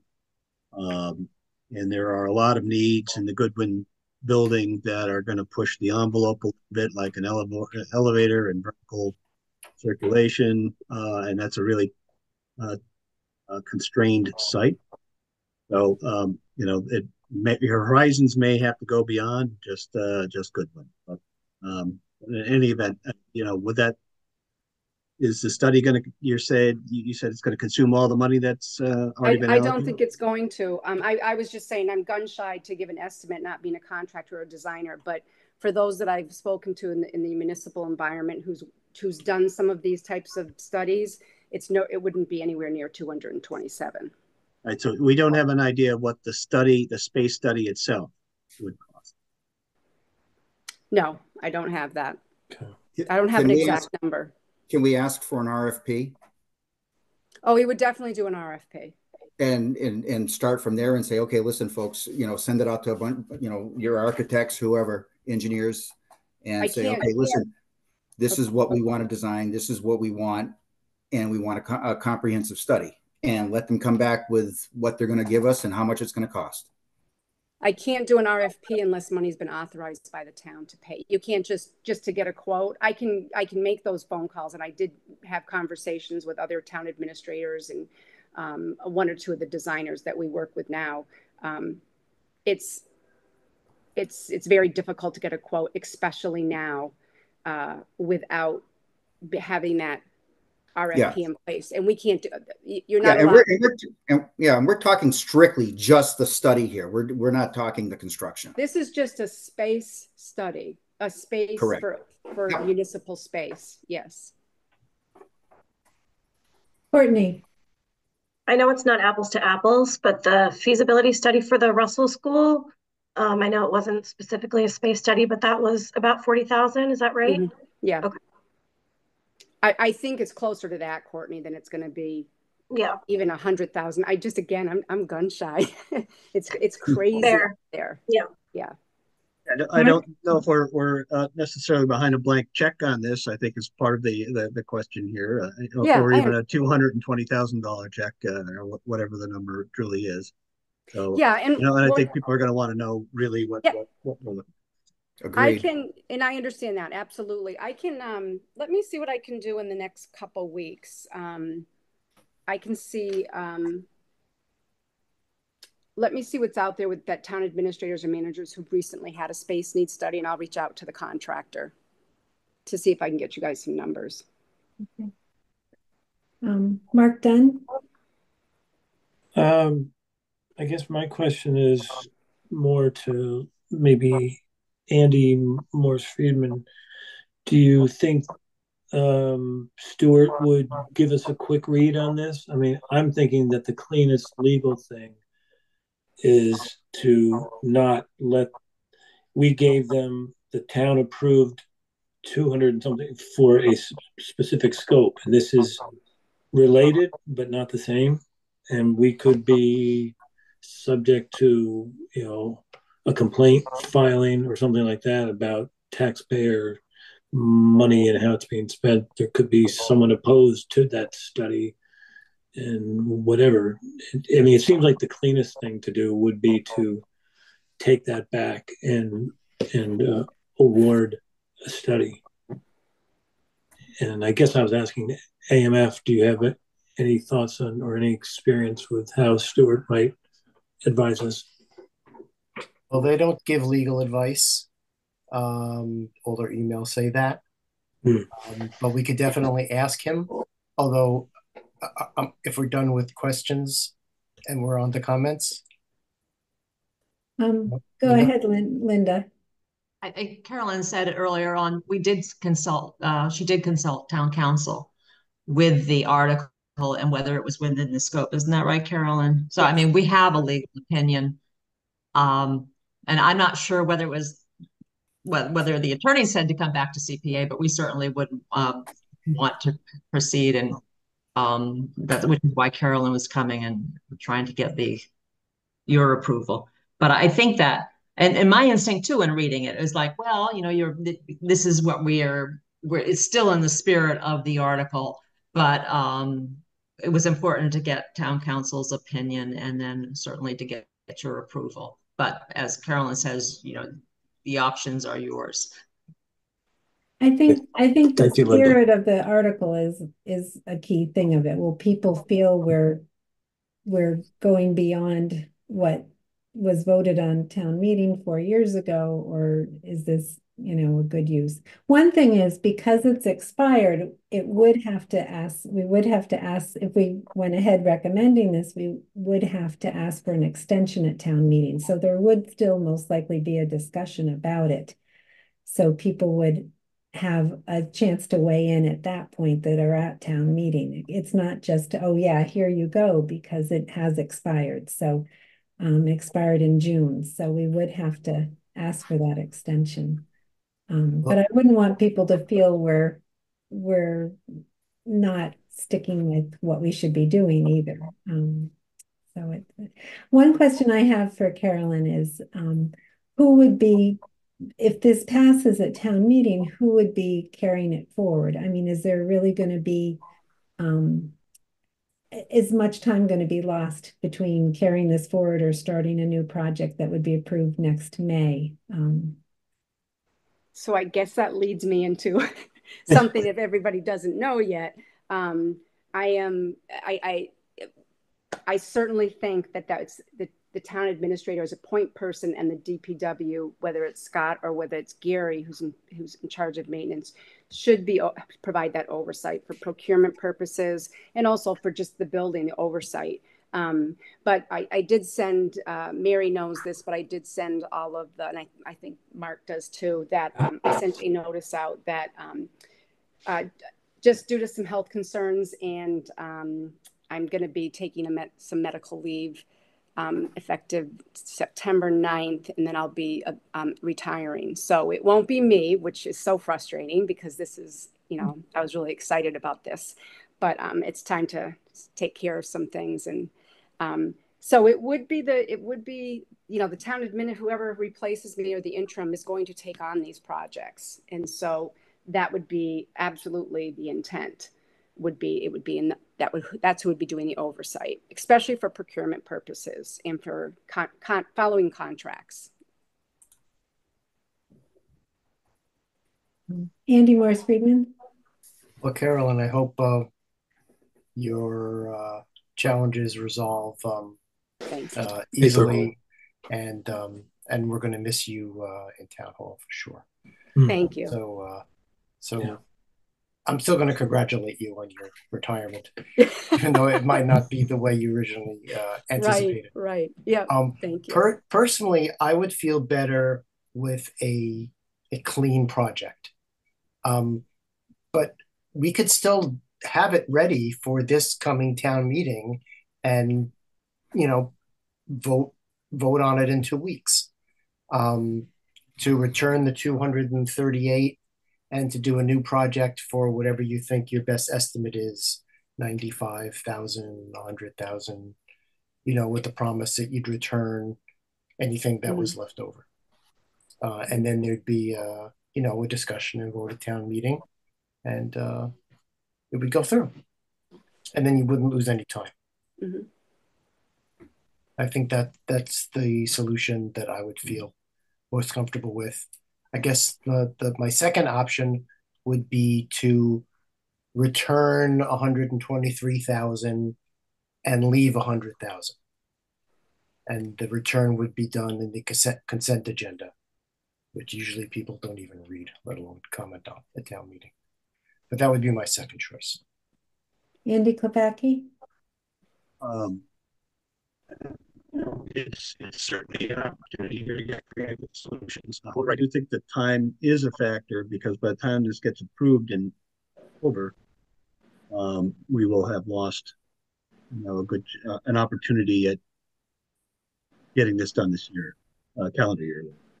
Um, so I I think that you know we just have to weigh that in. If there is a possibility, if you're going to lay the keep the money there, this could if they were to go out to bid faster uh, get that done quicker. That's if you support the initiative versus um, the cleaner of, of clawback and re-.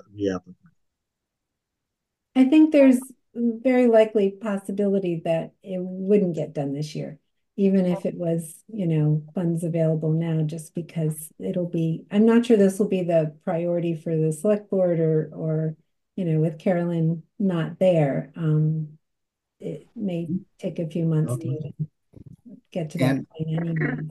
And, and, and we would have to go to town, uh, meeting regardless, just, ju- even to renew this. Right, right.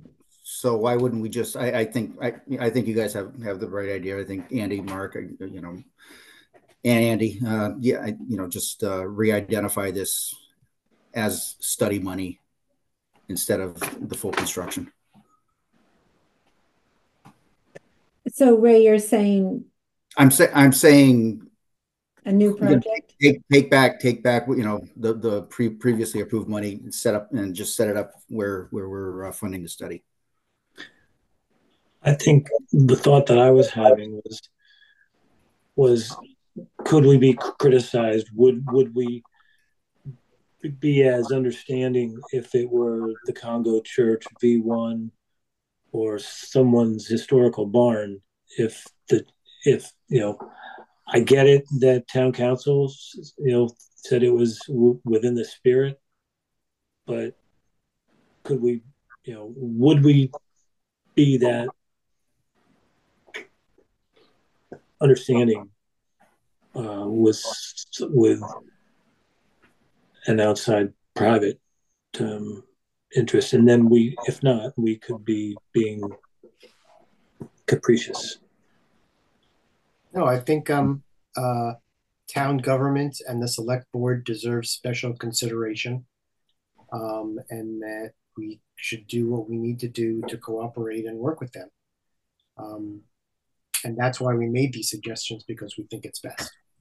If you think that the a couple of I don't know how many weeks between now and town meeting, if that lag is uh, threatening the project, then we'll work with you to speed up the timeline.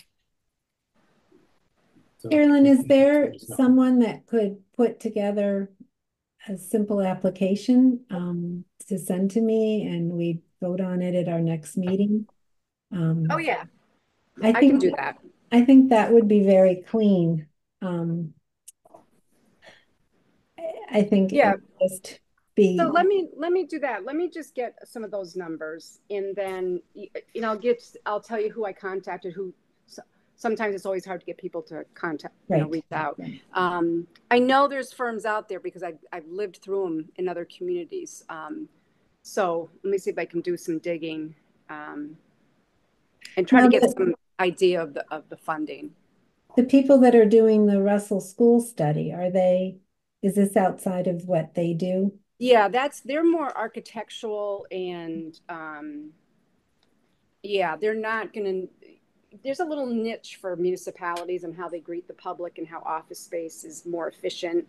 Um, and that's my experience, having been through two of them, is it's a firm that comes in, they know exactly what the collector's office is, and that's more in, in line with the finance team. And the finance departments are together here, maybe with one receptionist versus, so there's this whole concept, and they look at the, the, the, the biggest real estate for municipalities is storage. And we, we are in trouble with storage, another concern I have.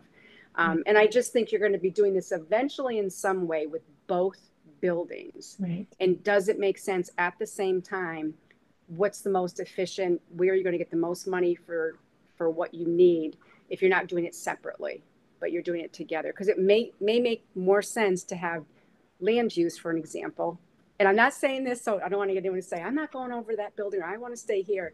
But land use, you should have, you know, community preservation should have their files with Kayla, with planning, in one in one building in one area. Um, have the finance team, again, collectors, assessors, uh, treasurer, in one in one area in either building. So it's just being more efficient in the use of the public and in access to the public. I think. So we get the report done. Is the report has this use space, but it's not how to get there, right? Then do you have another, you have to have somebody do a plan for what needs to be done to change the buildings, or is that part of this as well? Yeah, for this, for this, your, I didn't hear your first, the first part of it, Mary. You're, you're meaning for what we're talking about now? Yeah. Um, No, there, there'd be another step you'd have to get. um, Right. To, to do this, you know, we're looking and it's so overwhelming because you have DPW, we, you have these other big ticket items. I think the important thing is that we just keep moving forward and making Okay. sure nothing's just sitting. Um, so you would have to get an architect. I am guessing to renovate that building, um, you're you're you're probably going to need an OPM. You're going to need an architect. So it's just changed. Once the scope of work goes up in price, which it has now because of inflation and everything, um, you're you're looking at a project that that it would be, and especially if you did it with the town hall and the Goodwin at the same time, but you wouldn't have to. You you can phase those two things in. Um, but that that architect, um, I think you'd want that person involved with both buildings. I- It really, in my opinion, this is just my opinion. It should it should be one project, but that's that has lots of room for discussion, especially with having limited resources financially. Phased approaches are also a, a good um, option as well. So I'm kind of going way down the road. Yeah. But my intent Yeah. here is just to do what's most efficient with what funds you have and to continue to continue to move those projects forward. Okay. Well, that would be great. If, I mean, that, if other people agree, I think putting together an application for a, a clean, fresh, you know, start with this. Um, and, you know, who will be standing up at town meeting promoting it and, and, um, you know, who will be the contact on it. Um, will be great. And any other comments on this particular, Mark? Yeah, just a question to, I, I guess, Carolyn is, um, this is completely divorced from, uh, the MBC, right? D- d- does the MBC even exist anymore? It does not. Okay. That's the MBC? the Municipal Building Committee. Yeah. All right, and those were the ones that came up with the original two hundred and twenty-six. That was, that was David, uh, Tudrin's committee, right? Right. He was chair. He's on the application. Yeah. And that was David a- Nixon. Yeah, that was a pretty sketchy proposal to begin with. I mean, we really didn't know what we were getting. It wasn't really planned sufficiently, in my opinion. Um, and we were just kind of trusting them and going on faith that it was going to work out. And so I'm glad this is one CPA project that didn't get off the ground because uh, it's you we really. Yeah. we really have to plan things these days very carefully in order for them to succeed. Where did that two hundred thousand dollar estimate come from, or two twenty, whatever it came? Well, where did that estimate come from? Was it from an They- architecture firm or? They made it up. Oh, okay. Well, there was there was there Well, was an there, architect. there, there involved. happened to be an architect, uh, Larry Tuttle, that was involved. Yeah. Okay. He was, he was on retainer at the time, uh, for the town, the fifty thousand dollars that were allocated and, and oh, you see his name is in the application. Okay. Carolyn, before you go, um, there's some other CPA projects that you've been the, uh, one of the main forces behind, and if we can just get quick update, if you don't mind, on the Sure. Hockanum fence, on the Russell Yep. School study, on the town columns, and on the exterior study for town hall. Yeah, okay, I'll do the, yeah. So if I forget one, just remind me. Um, Yeah. Hockanum, um, I'm sure it's very visible that everyone can see that it's not where it land, it should land. So we did meet with the two attorneys, our attorney and with the attorney from, um, the company that is working on that. Um, and the two attorneys were to go back and our attorney, town counsel, was going to present what was needed to get that completed so that, that those, uh, those, I'm not calling, the granite, uh, poles. Oh, yeah, Whatever they're, um, would get evened out and graded properly and some other items that hadn't gotten done yet. And, uh, so far that I reached out to our attorney, she has not heard back from their attorney. So that's, it's, it's, it's, uh, it's not where we want it to be. Uh, I, we're probably going to have to do a little bit more pushing from the attorney. Um, but I, you know, we'll, we'll definitely, keep, uh, I'll make sure that you are updated with that, but it's, it's been a disappointment and it's much slower than it happened, but yeah. Uh, let's see. The columns are done. Uh, all that stuff will get taken away as soon as I think. I think DPW plans on putting a new railing up because that railing got broken in the in the construction.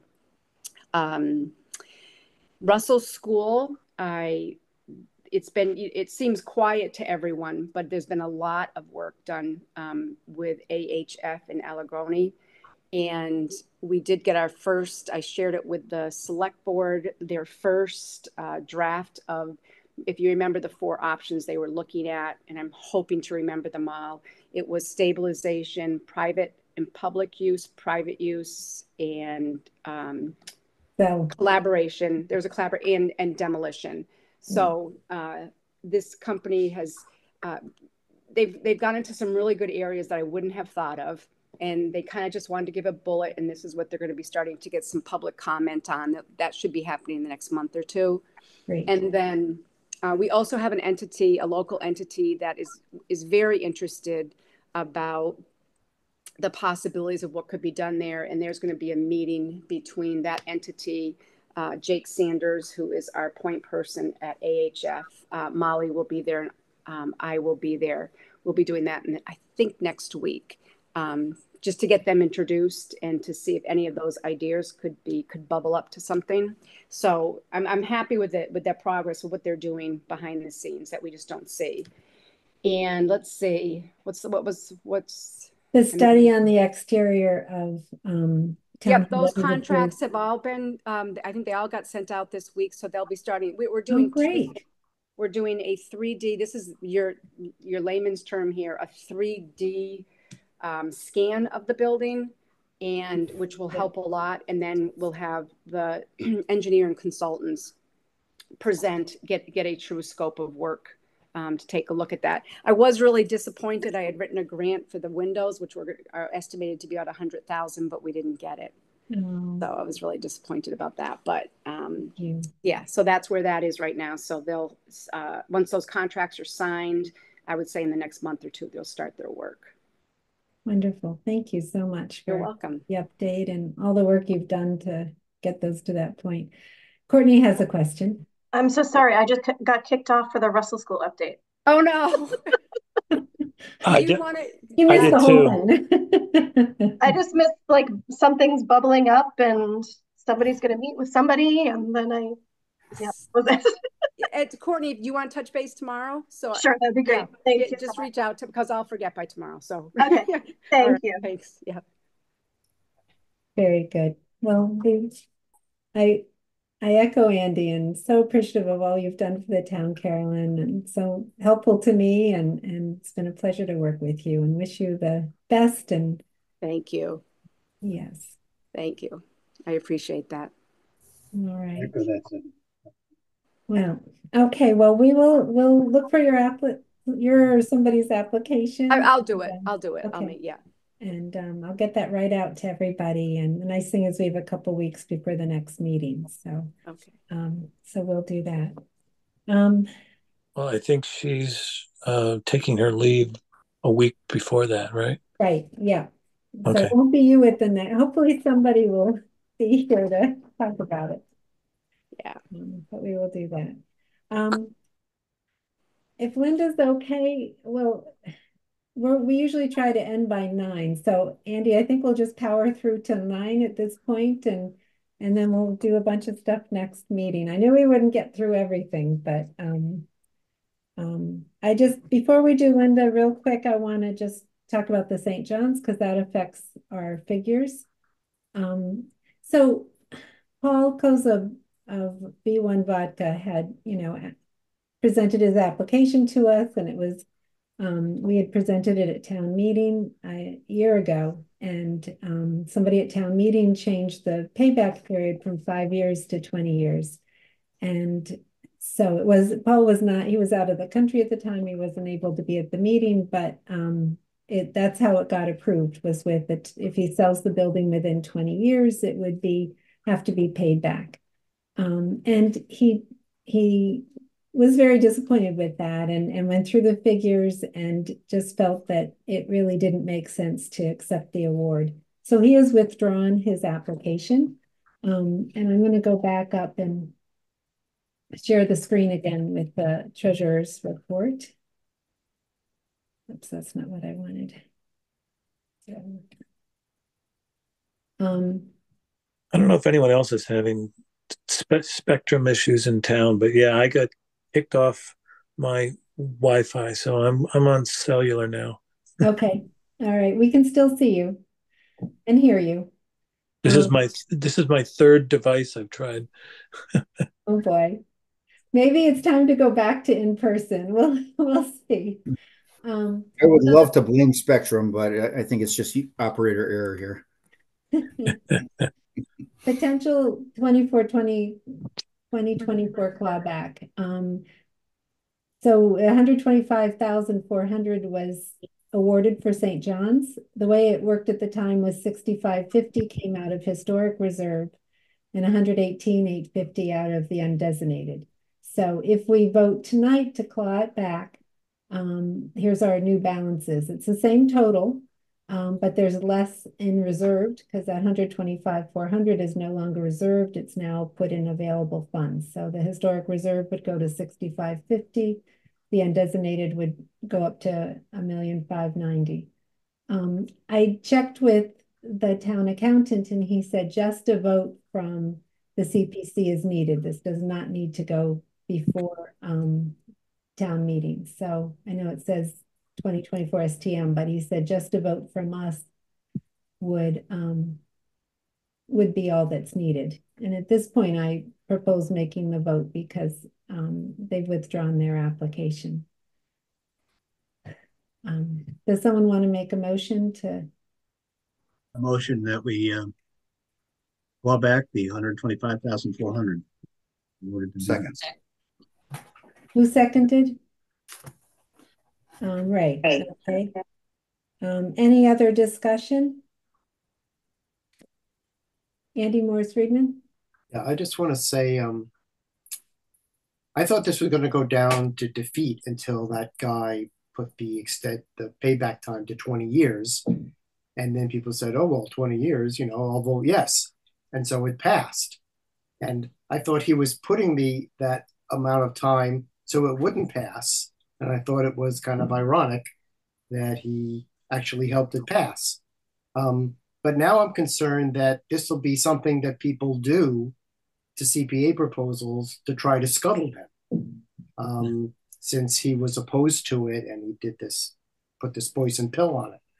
Um, and so I just hope that we don't get too many more of these extensions at town meeting. And and hopefully our uh, applicants will be able to attend that meeting and speak in, you know, to those kinds of proposals. Yes, well, not for And- sure. You know, the, a committee like ours and many others spends all this time talking about what makes the most sense, what, what works from all points of view. You know, we were work, one working with Paul with what was reasonable. You know, we had lots of talk on it and it's awfully hard to just have somebody that really hasn't been involved at all say, hey, I'd rather do this and, and, um, it, it just barely passed. It just barely passed the 20 year and it just barely passed. So I agree. It might not have passed at the five. What we did for the next one is we just, we did have a five-year payback for the Phelps farm. We just didn't even discuss that at town meeting because that's really more of something I guess our committee can set up. And if people ask about it, that's fine. But, um, you know, that's, that's another way we kind of tried to make it so it wasn't such a, a discussion point because it is hard to have it change without a whole lot of information going into it. Um, So, so maybe these kind of details will work, are worked out in the, uh, grant agreement and not in the warrant article. Right, and that's what we did. Um, all right, so we, any other discussion? Um, Kayla, can you do the roll call, please? Uh, Mary, Yes.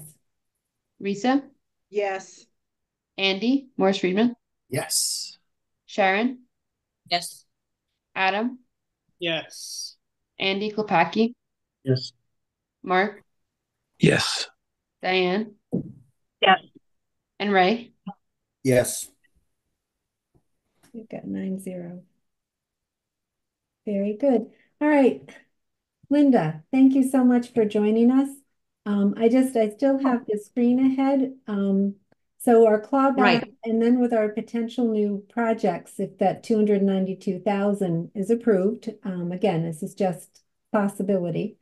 Um, that leaves us with zero in open space for four thousand five hundred fifty in historic reserve, the three hundred and eight thousand still in housing. Um, so we have a million three seventy-nine. Uh, We really have a million eight seventy-nine, but trying to keep that five hundred thousand available um, is where we're at right now. We're also going to have our first surcharge has been collected. Um, so we've got another eighty thousand or so already added onto our fund total. And we'll be getting our state distribution in the fall, which hopefully will be about the hundred seventy-five thousand. Um, that's always an unknown. Um, but if we kind of conservatively hope it's about last year's. Um, Uh, they don't, they don't think it's gonna be as good as last year. Okay, well, we'll see. We'll see. They, they tend to take pretty good care of their small towns. Yeah. Um, But anyways, even without those funds, we have seven hundred and fifty thousand that Chris, um, from the school said they are spending the full amount. So Linda, can you sort of take us through what our options are? It's now time to do something about this seven hundred fifty thousand. Andy Klepacki will be very happy. Right, the, um, the amount, uh, the portion of that article that you designated to be paid, paid directly from the funds has already, uh, been paid and it's out of there. And then, um, much of the seven hundred and fifty thousand to be borrowed has already been spent. Um, as, you- as you heard from Chris, what hasn't actually been spent is, is committed, but they're waiting on a few things. So that's going to be spent. Um, Mary and I started talking earlier in the summer, um, especially with some of the projects that we had a number of larger projects under consideration at the time when we were first talking about bonding, and one being the Russell School at that time, and um, oh, I can't remember what the other was. We had we had a, a few other things, and there was a benefit to doing the borrowing and spreading out a portion of these funds. And and Mary asked about what if we just spend it now? What if we just spend the seven hundred fifty thousand out of the out of our balance instead of borrowing? Well, I did run that by bond counsel and a, a lesson learned. We voted to borrow it and now we have to borrow it. Um, but we don't have to borrow it over a long period of time. And in fact, I, I, it was part of the borrowing in August on a, um, I piggybacked it because we knew, I knew we had to borrow it at some point. I, I piggybacked it on other things that had to be borrowed at that time. And uh, so your 750,000 has been borrowed and it is due at the end of October. So we just have it for like almost three months, I think about a 90 day borrowing. And um, at that time, you can then pay it in full and never do any more, uh, never be concerned about it again. The whole principal could come out of here. But you also have the option of um, we paying some of it. Let's say you want to do over three years, that would be 250,000 a year plus interest. Uh, so I would pay off 250 at that time and roll over of the principal and roll over the 500 to to next year. Um, so it's just a matter of whether you want to take care of this. Um, as mentioned, you see there's 3.1 million dollars in the fund.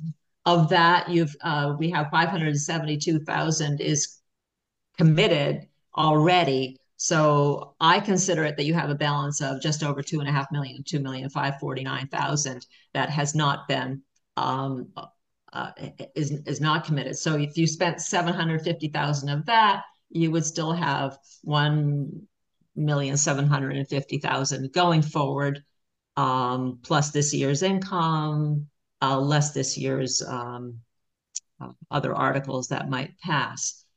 So um, I think I also want to tell you what, what the interest rate is. We're finding on our bands they're close to five percent. So five percent on seven hundred fifty thousand roughly is um, is thirty seven thousand five hundred or three thousand a month. So if you decide you want to pay it out of your funds right now, you will have you'll just have had that short time of interest. If you roll it over, we will spending be spending an extra thirty-seven thousand a year the first year, and then to you know however long you decide to pay it over. So I um I'm very flexible with the borrowing. It's really a matter of your cash flow and what you're comfortable with parting with, and whether you want this taken care of now and not in your plan anymore. In 2020, when we were looking at this project, yeah, we Mhm. we would have been that 500,000 that we were um, trying not to dip into, we would have dipped into. We didn't have the we didn't have the available funds to be able to do this million five hundred seventy-six thousand, whatever, close to that. Um, Right. for the field. So, and we did think there'd be, you know, yeah, Goodwin and, and Russell right down the pike. Um, I feel at this point, the money's there. I'd rather not pay the interest on it. And if we do get a big project in the future, we have the chance to borrow again. It's, it's, we can borrow as many times as, as we, Right. and even with the borrowing, even five percent towns get a better deal than mortgage homeowners. Um, but um, even at that, we can only borrow about two million. You know, the CPA is not the, is not this huge money source for a project that's going to be ten million. Um, it can be a part of paying something, but it can't, it can't fund a huge amount. So, um, I, you know, I think even with, if we, if we approve, if the town meeting, if we recommend and town meeting approves the two projects for two hundred ninety-two thousand that we just heard about tonight, and maybe we, we, this does not include clawing back the Goodwin, so there's another two hundred and twenty-six thousand. Um, and we might have another hundred thousand in projects if, the- if Carolyn comes back asking for that. So we're still gonna be about a hundred thousand higher um, than what you see here, but if we pay back the borrowing, it drops us down to availability of a million four hundred and forty-two thousand.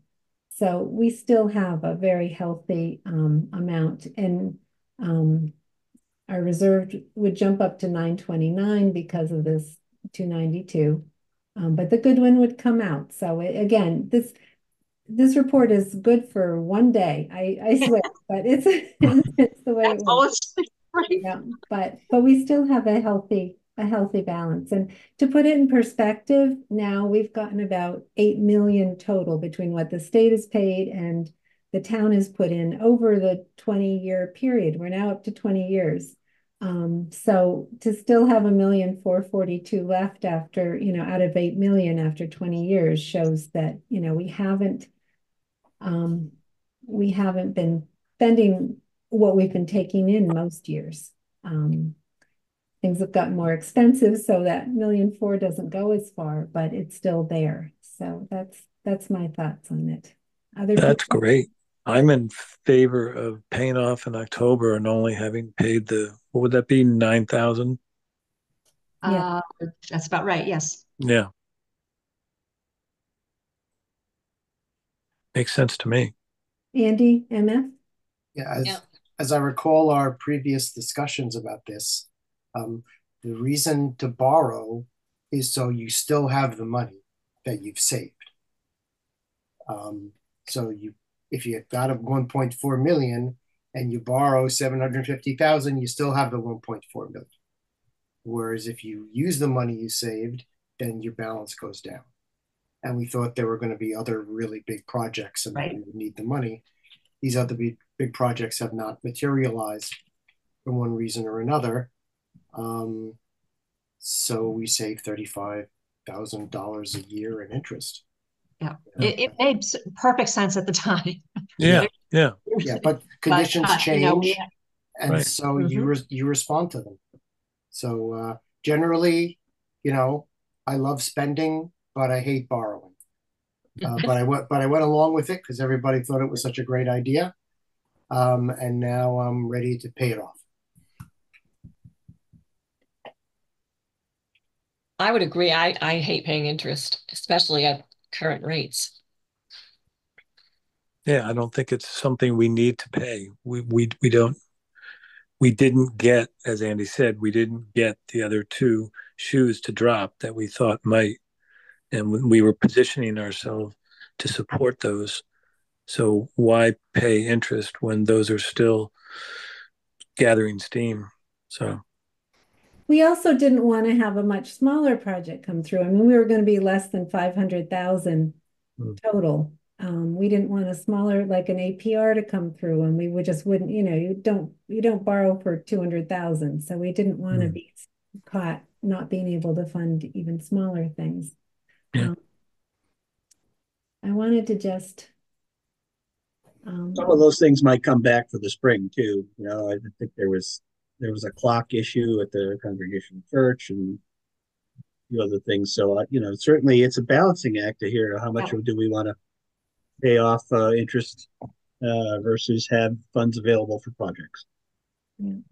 And but if the if the sentiment is you know all or nothing, I don't know if there's some middle ground.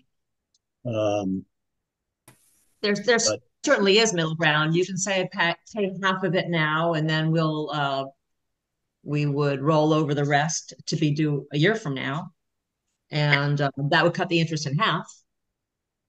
And so you could be doing it in two payments, so one, two, or or three. Um, each year, we're only paying interest on the outstanding balance, so it would go. The interest would be would be down. So, um, what would that save you if you did?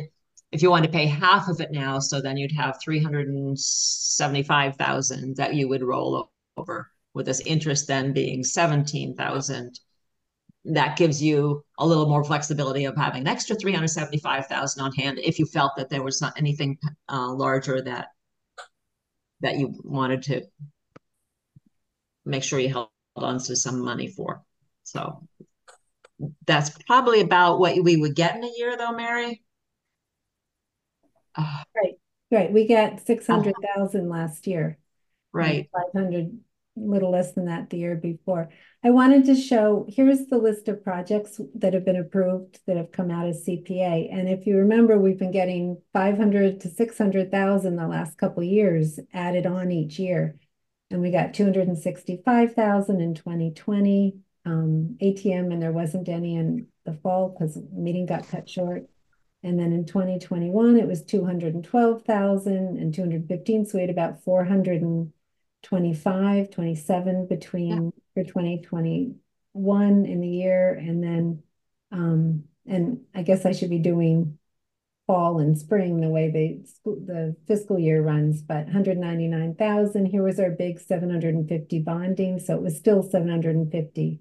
So in 2022, we actually, for the first time in years, um, put out more than we had taken in just that year and it was 93,000 and then um, 125 is what we're just climbed back and then the 190,000 so going back to that other screen um, you can that's why you know it's built up because we have been taking in this much each year um, 630 but we haven't been spending that much in projects. So to still be at a million four, historically, you should be in really good shape, even paying that 750,000 um, until a big project comes through. And then we do have the option to bond again. I, I, I definitely think that, um, I, I mean, I, I don't like paying interest either. And I uh, just want to make sure that, you know, we just had the discussion to say, yeah, we do this, we're going to bring our, our reserves down a bit, but you know, based on what you're you're showing here, uh, we're going to be taking in enough, and we're not spending it as fast until again something big. Yeah, if we wait another six months, we're paying, we're throwing eighteen thousand out the window for nothing if it's if it's not needed. I think that would be something we'd be accountable to the taxpayers for well, just just to throw another monkey wrench into it though, when you're holding on to the money, you're also earning money. We we do get investment income off of the funds. That's true. Yeah. so, yeah. so I don't think I don't think you, I worry about you being accountable back yeah. to tax. I think we're doing well with the money. Sherry, did you did you want to say something? I thought I saw Sherry's hands up. Um, no, okay. Who else wanted to? Mary, did you want us to decide this tonight, or do you I- want us to I think think about it it and do it next week? I would rather Next do it tonight just because we so appreciate Linda being here if there were questions, but also it does help us know, you know, next week when we're voting, exactly what we're voting on, because we'll change, Adam, we'll and change this around to show um the clawback and also the clawback of the Goodwin, um, which we can vote on next week. Just we Next month. that Against, or next, I'm sorry, next meeting.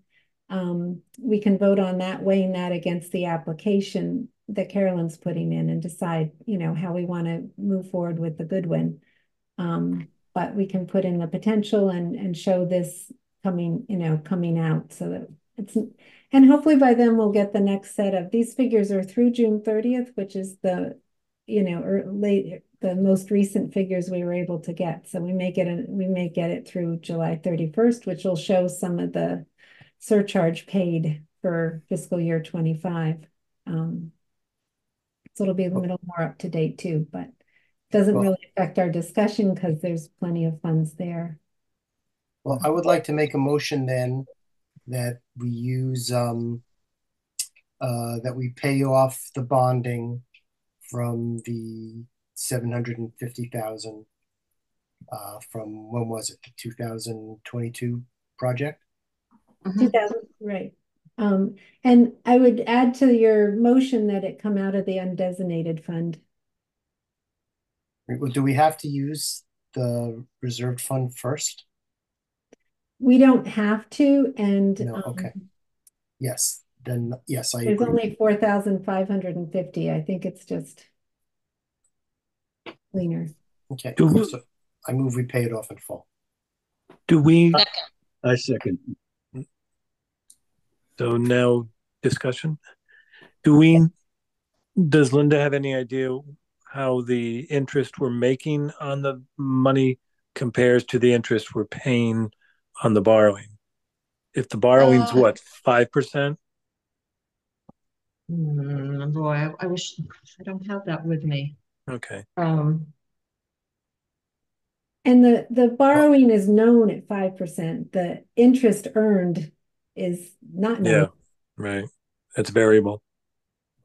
it, well, yes, it, it is variable. It's the, but that's, um, but it's also the, uh, growth, which is harder to quantify because we, it, because the money is invested. So it's not just what it pays each month, it's Mm. whether we have growth on those funds. If you look back um, at our It won't come out right away. Hmm? It won't come out until, uh, because as you said, not all of it has been spent. So it'll only come out as it's spent and the rest, and that's true, by the way, of all of your, uh, commitments on the articles. We don't remove the money from the CPA um, account. I le- we leave the money in as invested under the CPA umbrella and, and then we transfer it out as it's spent. That way CPA gets the benefit of the full amount, not just the net amount after commitments. Because there's, because I can, because we can. And it uh, works out better for you. Yep, it does. And it's cleaner when there's money left over, putting it back in. Yes, it's already there. It's already there. Right, right. Any other thoughts or discussion? So that will drop our earnings on investments a little bit in the Correct. back. category. And, and also reduce our ongoing interest payments. Yeah, Both. right. Because usually it costs more to borrow than you get in interest from savings. Yeah. If it That's- was all that's how being banks done. work. Yeah, if it was all being done through the same bank, but uh, yeah, right. It's invested, so it can easily go up and it can easily go down. If you look at, you know, we were This- seventy-nine thousand, then eleven thousand last year, minus eighty-one thousand the year before. My, you know, it's, it's up and down, so. Yeah, yeah. It's kind of a tangent, Linda, but what is it invested in? Uh, I'd be happy to Turnips. send you a statement. I don't, I don't have it, on- I Okay. not, don't have it on the top of my head. Um, do you want to see, you want a statement? Uh, well, I just wondered I what think it, it would be interesting to see. I'd be, you know, I'd be very happy to have you all look it over. I think that that, um, the more eyes, the better. Sure. All right, no, I'll, Yeah. I'll send you that. But, uh, but Mary's right. It's that, it's that it's that capital. I'm more, I'm more concerned about I'm, I'm the uh the the growth or the loss versus I mean right now you know 750,000 is 750,000 and that's what it's going to come out. And if we do have any losses we have not had any losses at this point so. This year good. this year thank you. Yeah I always say when I see these charts come up in the negatives it's like ah but um but other years we have such nice growth. Over the over the course of the last decade it was definitely helpful. yeah we do. Um and our and our fund balance helps the town's bond rating too. I mean, it's it's certainly a factor in there. Um, it's not a reason to vote yes or no on anything. It's just a nice side benefit that the town gets. Um, so, uh, any other comments, or can we go for a vote? Um, all right, Kayla. All right, roll roll call vote. Mary. Yes. Risa. Yes. Andy Morris Friedman. Yes. Sharon. Yes. Adam. Yes. Andy Kopacki. Yes. Mark. Yes. Diane. Yes. And Ray. Yep. All right, all in favor. Great, thank you. Who vote, who seconded that? I, I heard a couple voices. I wasn't quite sure. Andy Morris Friedman made the motion. Who was the second? I I did, but I don't know if anybody else chimed in. All right, thank you. All right, well, it's nine fourteen, so um everything else can wait till next meeting, I think. Um, just a reminder that the next meeting is September sixteenth. One thing that we're gonna hopefully discuss if there's time is um there's a bylaw change committee that's been at work and and there's some things that um I think need to be updated in our bylaws. And I didn't want to send even more information out because um, I didn't think we'd have time to get to it this meeting anyway. So in the next few days, um, Kayla and Andy Morris Friedman and I have been working a little bit on, and maybe somebody else um, have been working on looking at the changes and made some suggestions. So we'll send that out for everyone to take a look at so we can discuss it at our next meeting too. Uh, part of it is the state has changed some of its um, wording in its CPA Act, and that's pretty much been mirrored in Hadley's. And then some of it is just what's in practice. So um, you'll be seeing that coming from um, Kayla shortly. And um, I think everything else can wait. Our next meeting, September 16th, 7 p.m. Is everyone okay with still doing it by Zoom despite, despite technical difficulties? Yes. Yes. Okay, great. And thank you everyone so much for attending and especially Diane who's uh, having a lot more fun than I am these days, I think, living on a boat, but appreciate appreciate everybody zooming in and, and attending and um, we'll see you in a couple weeks.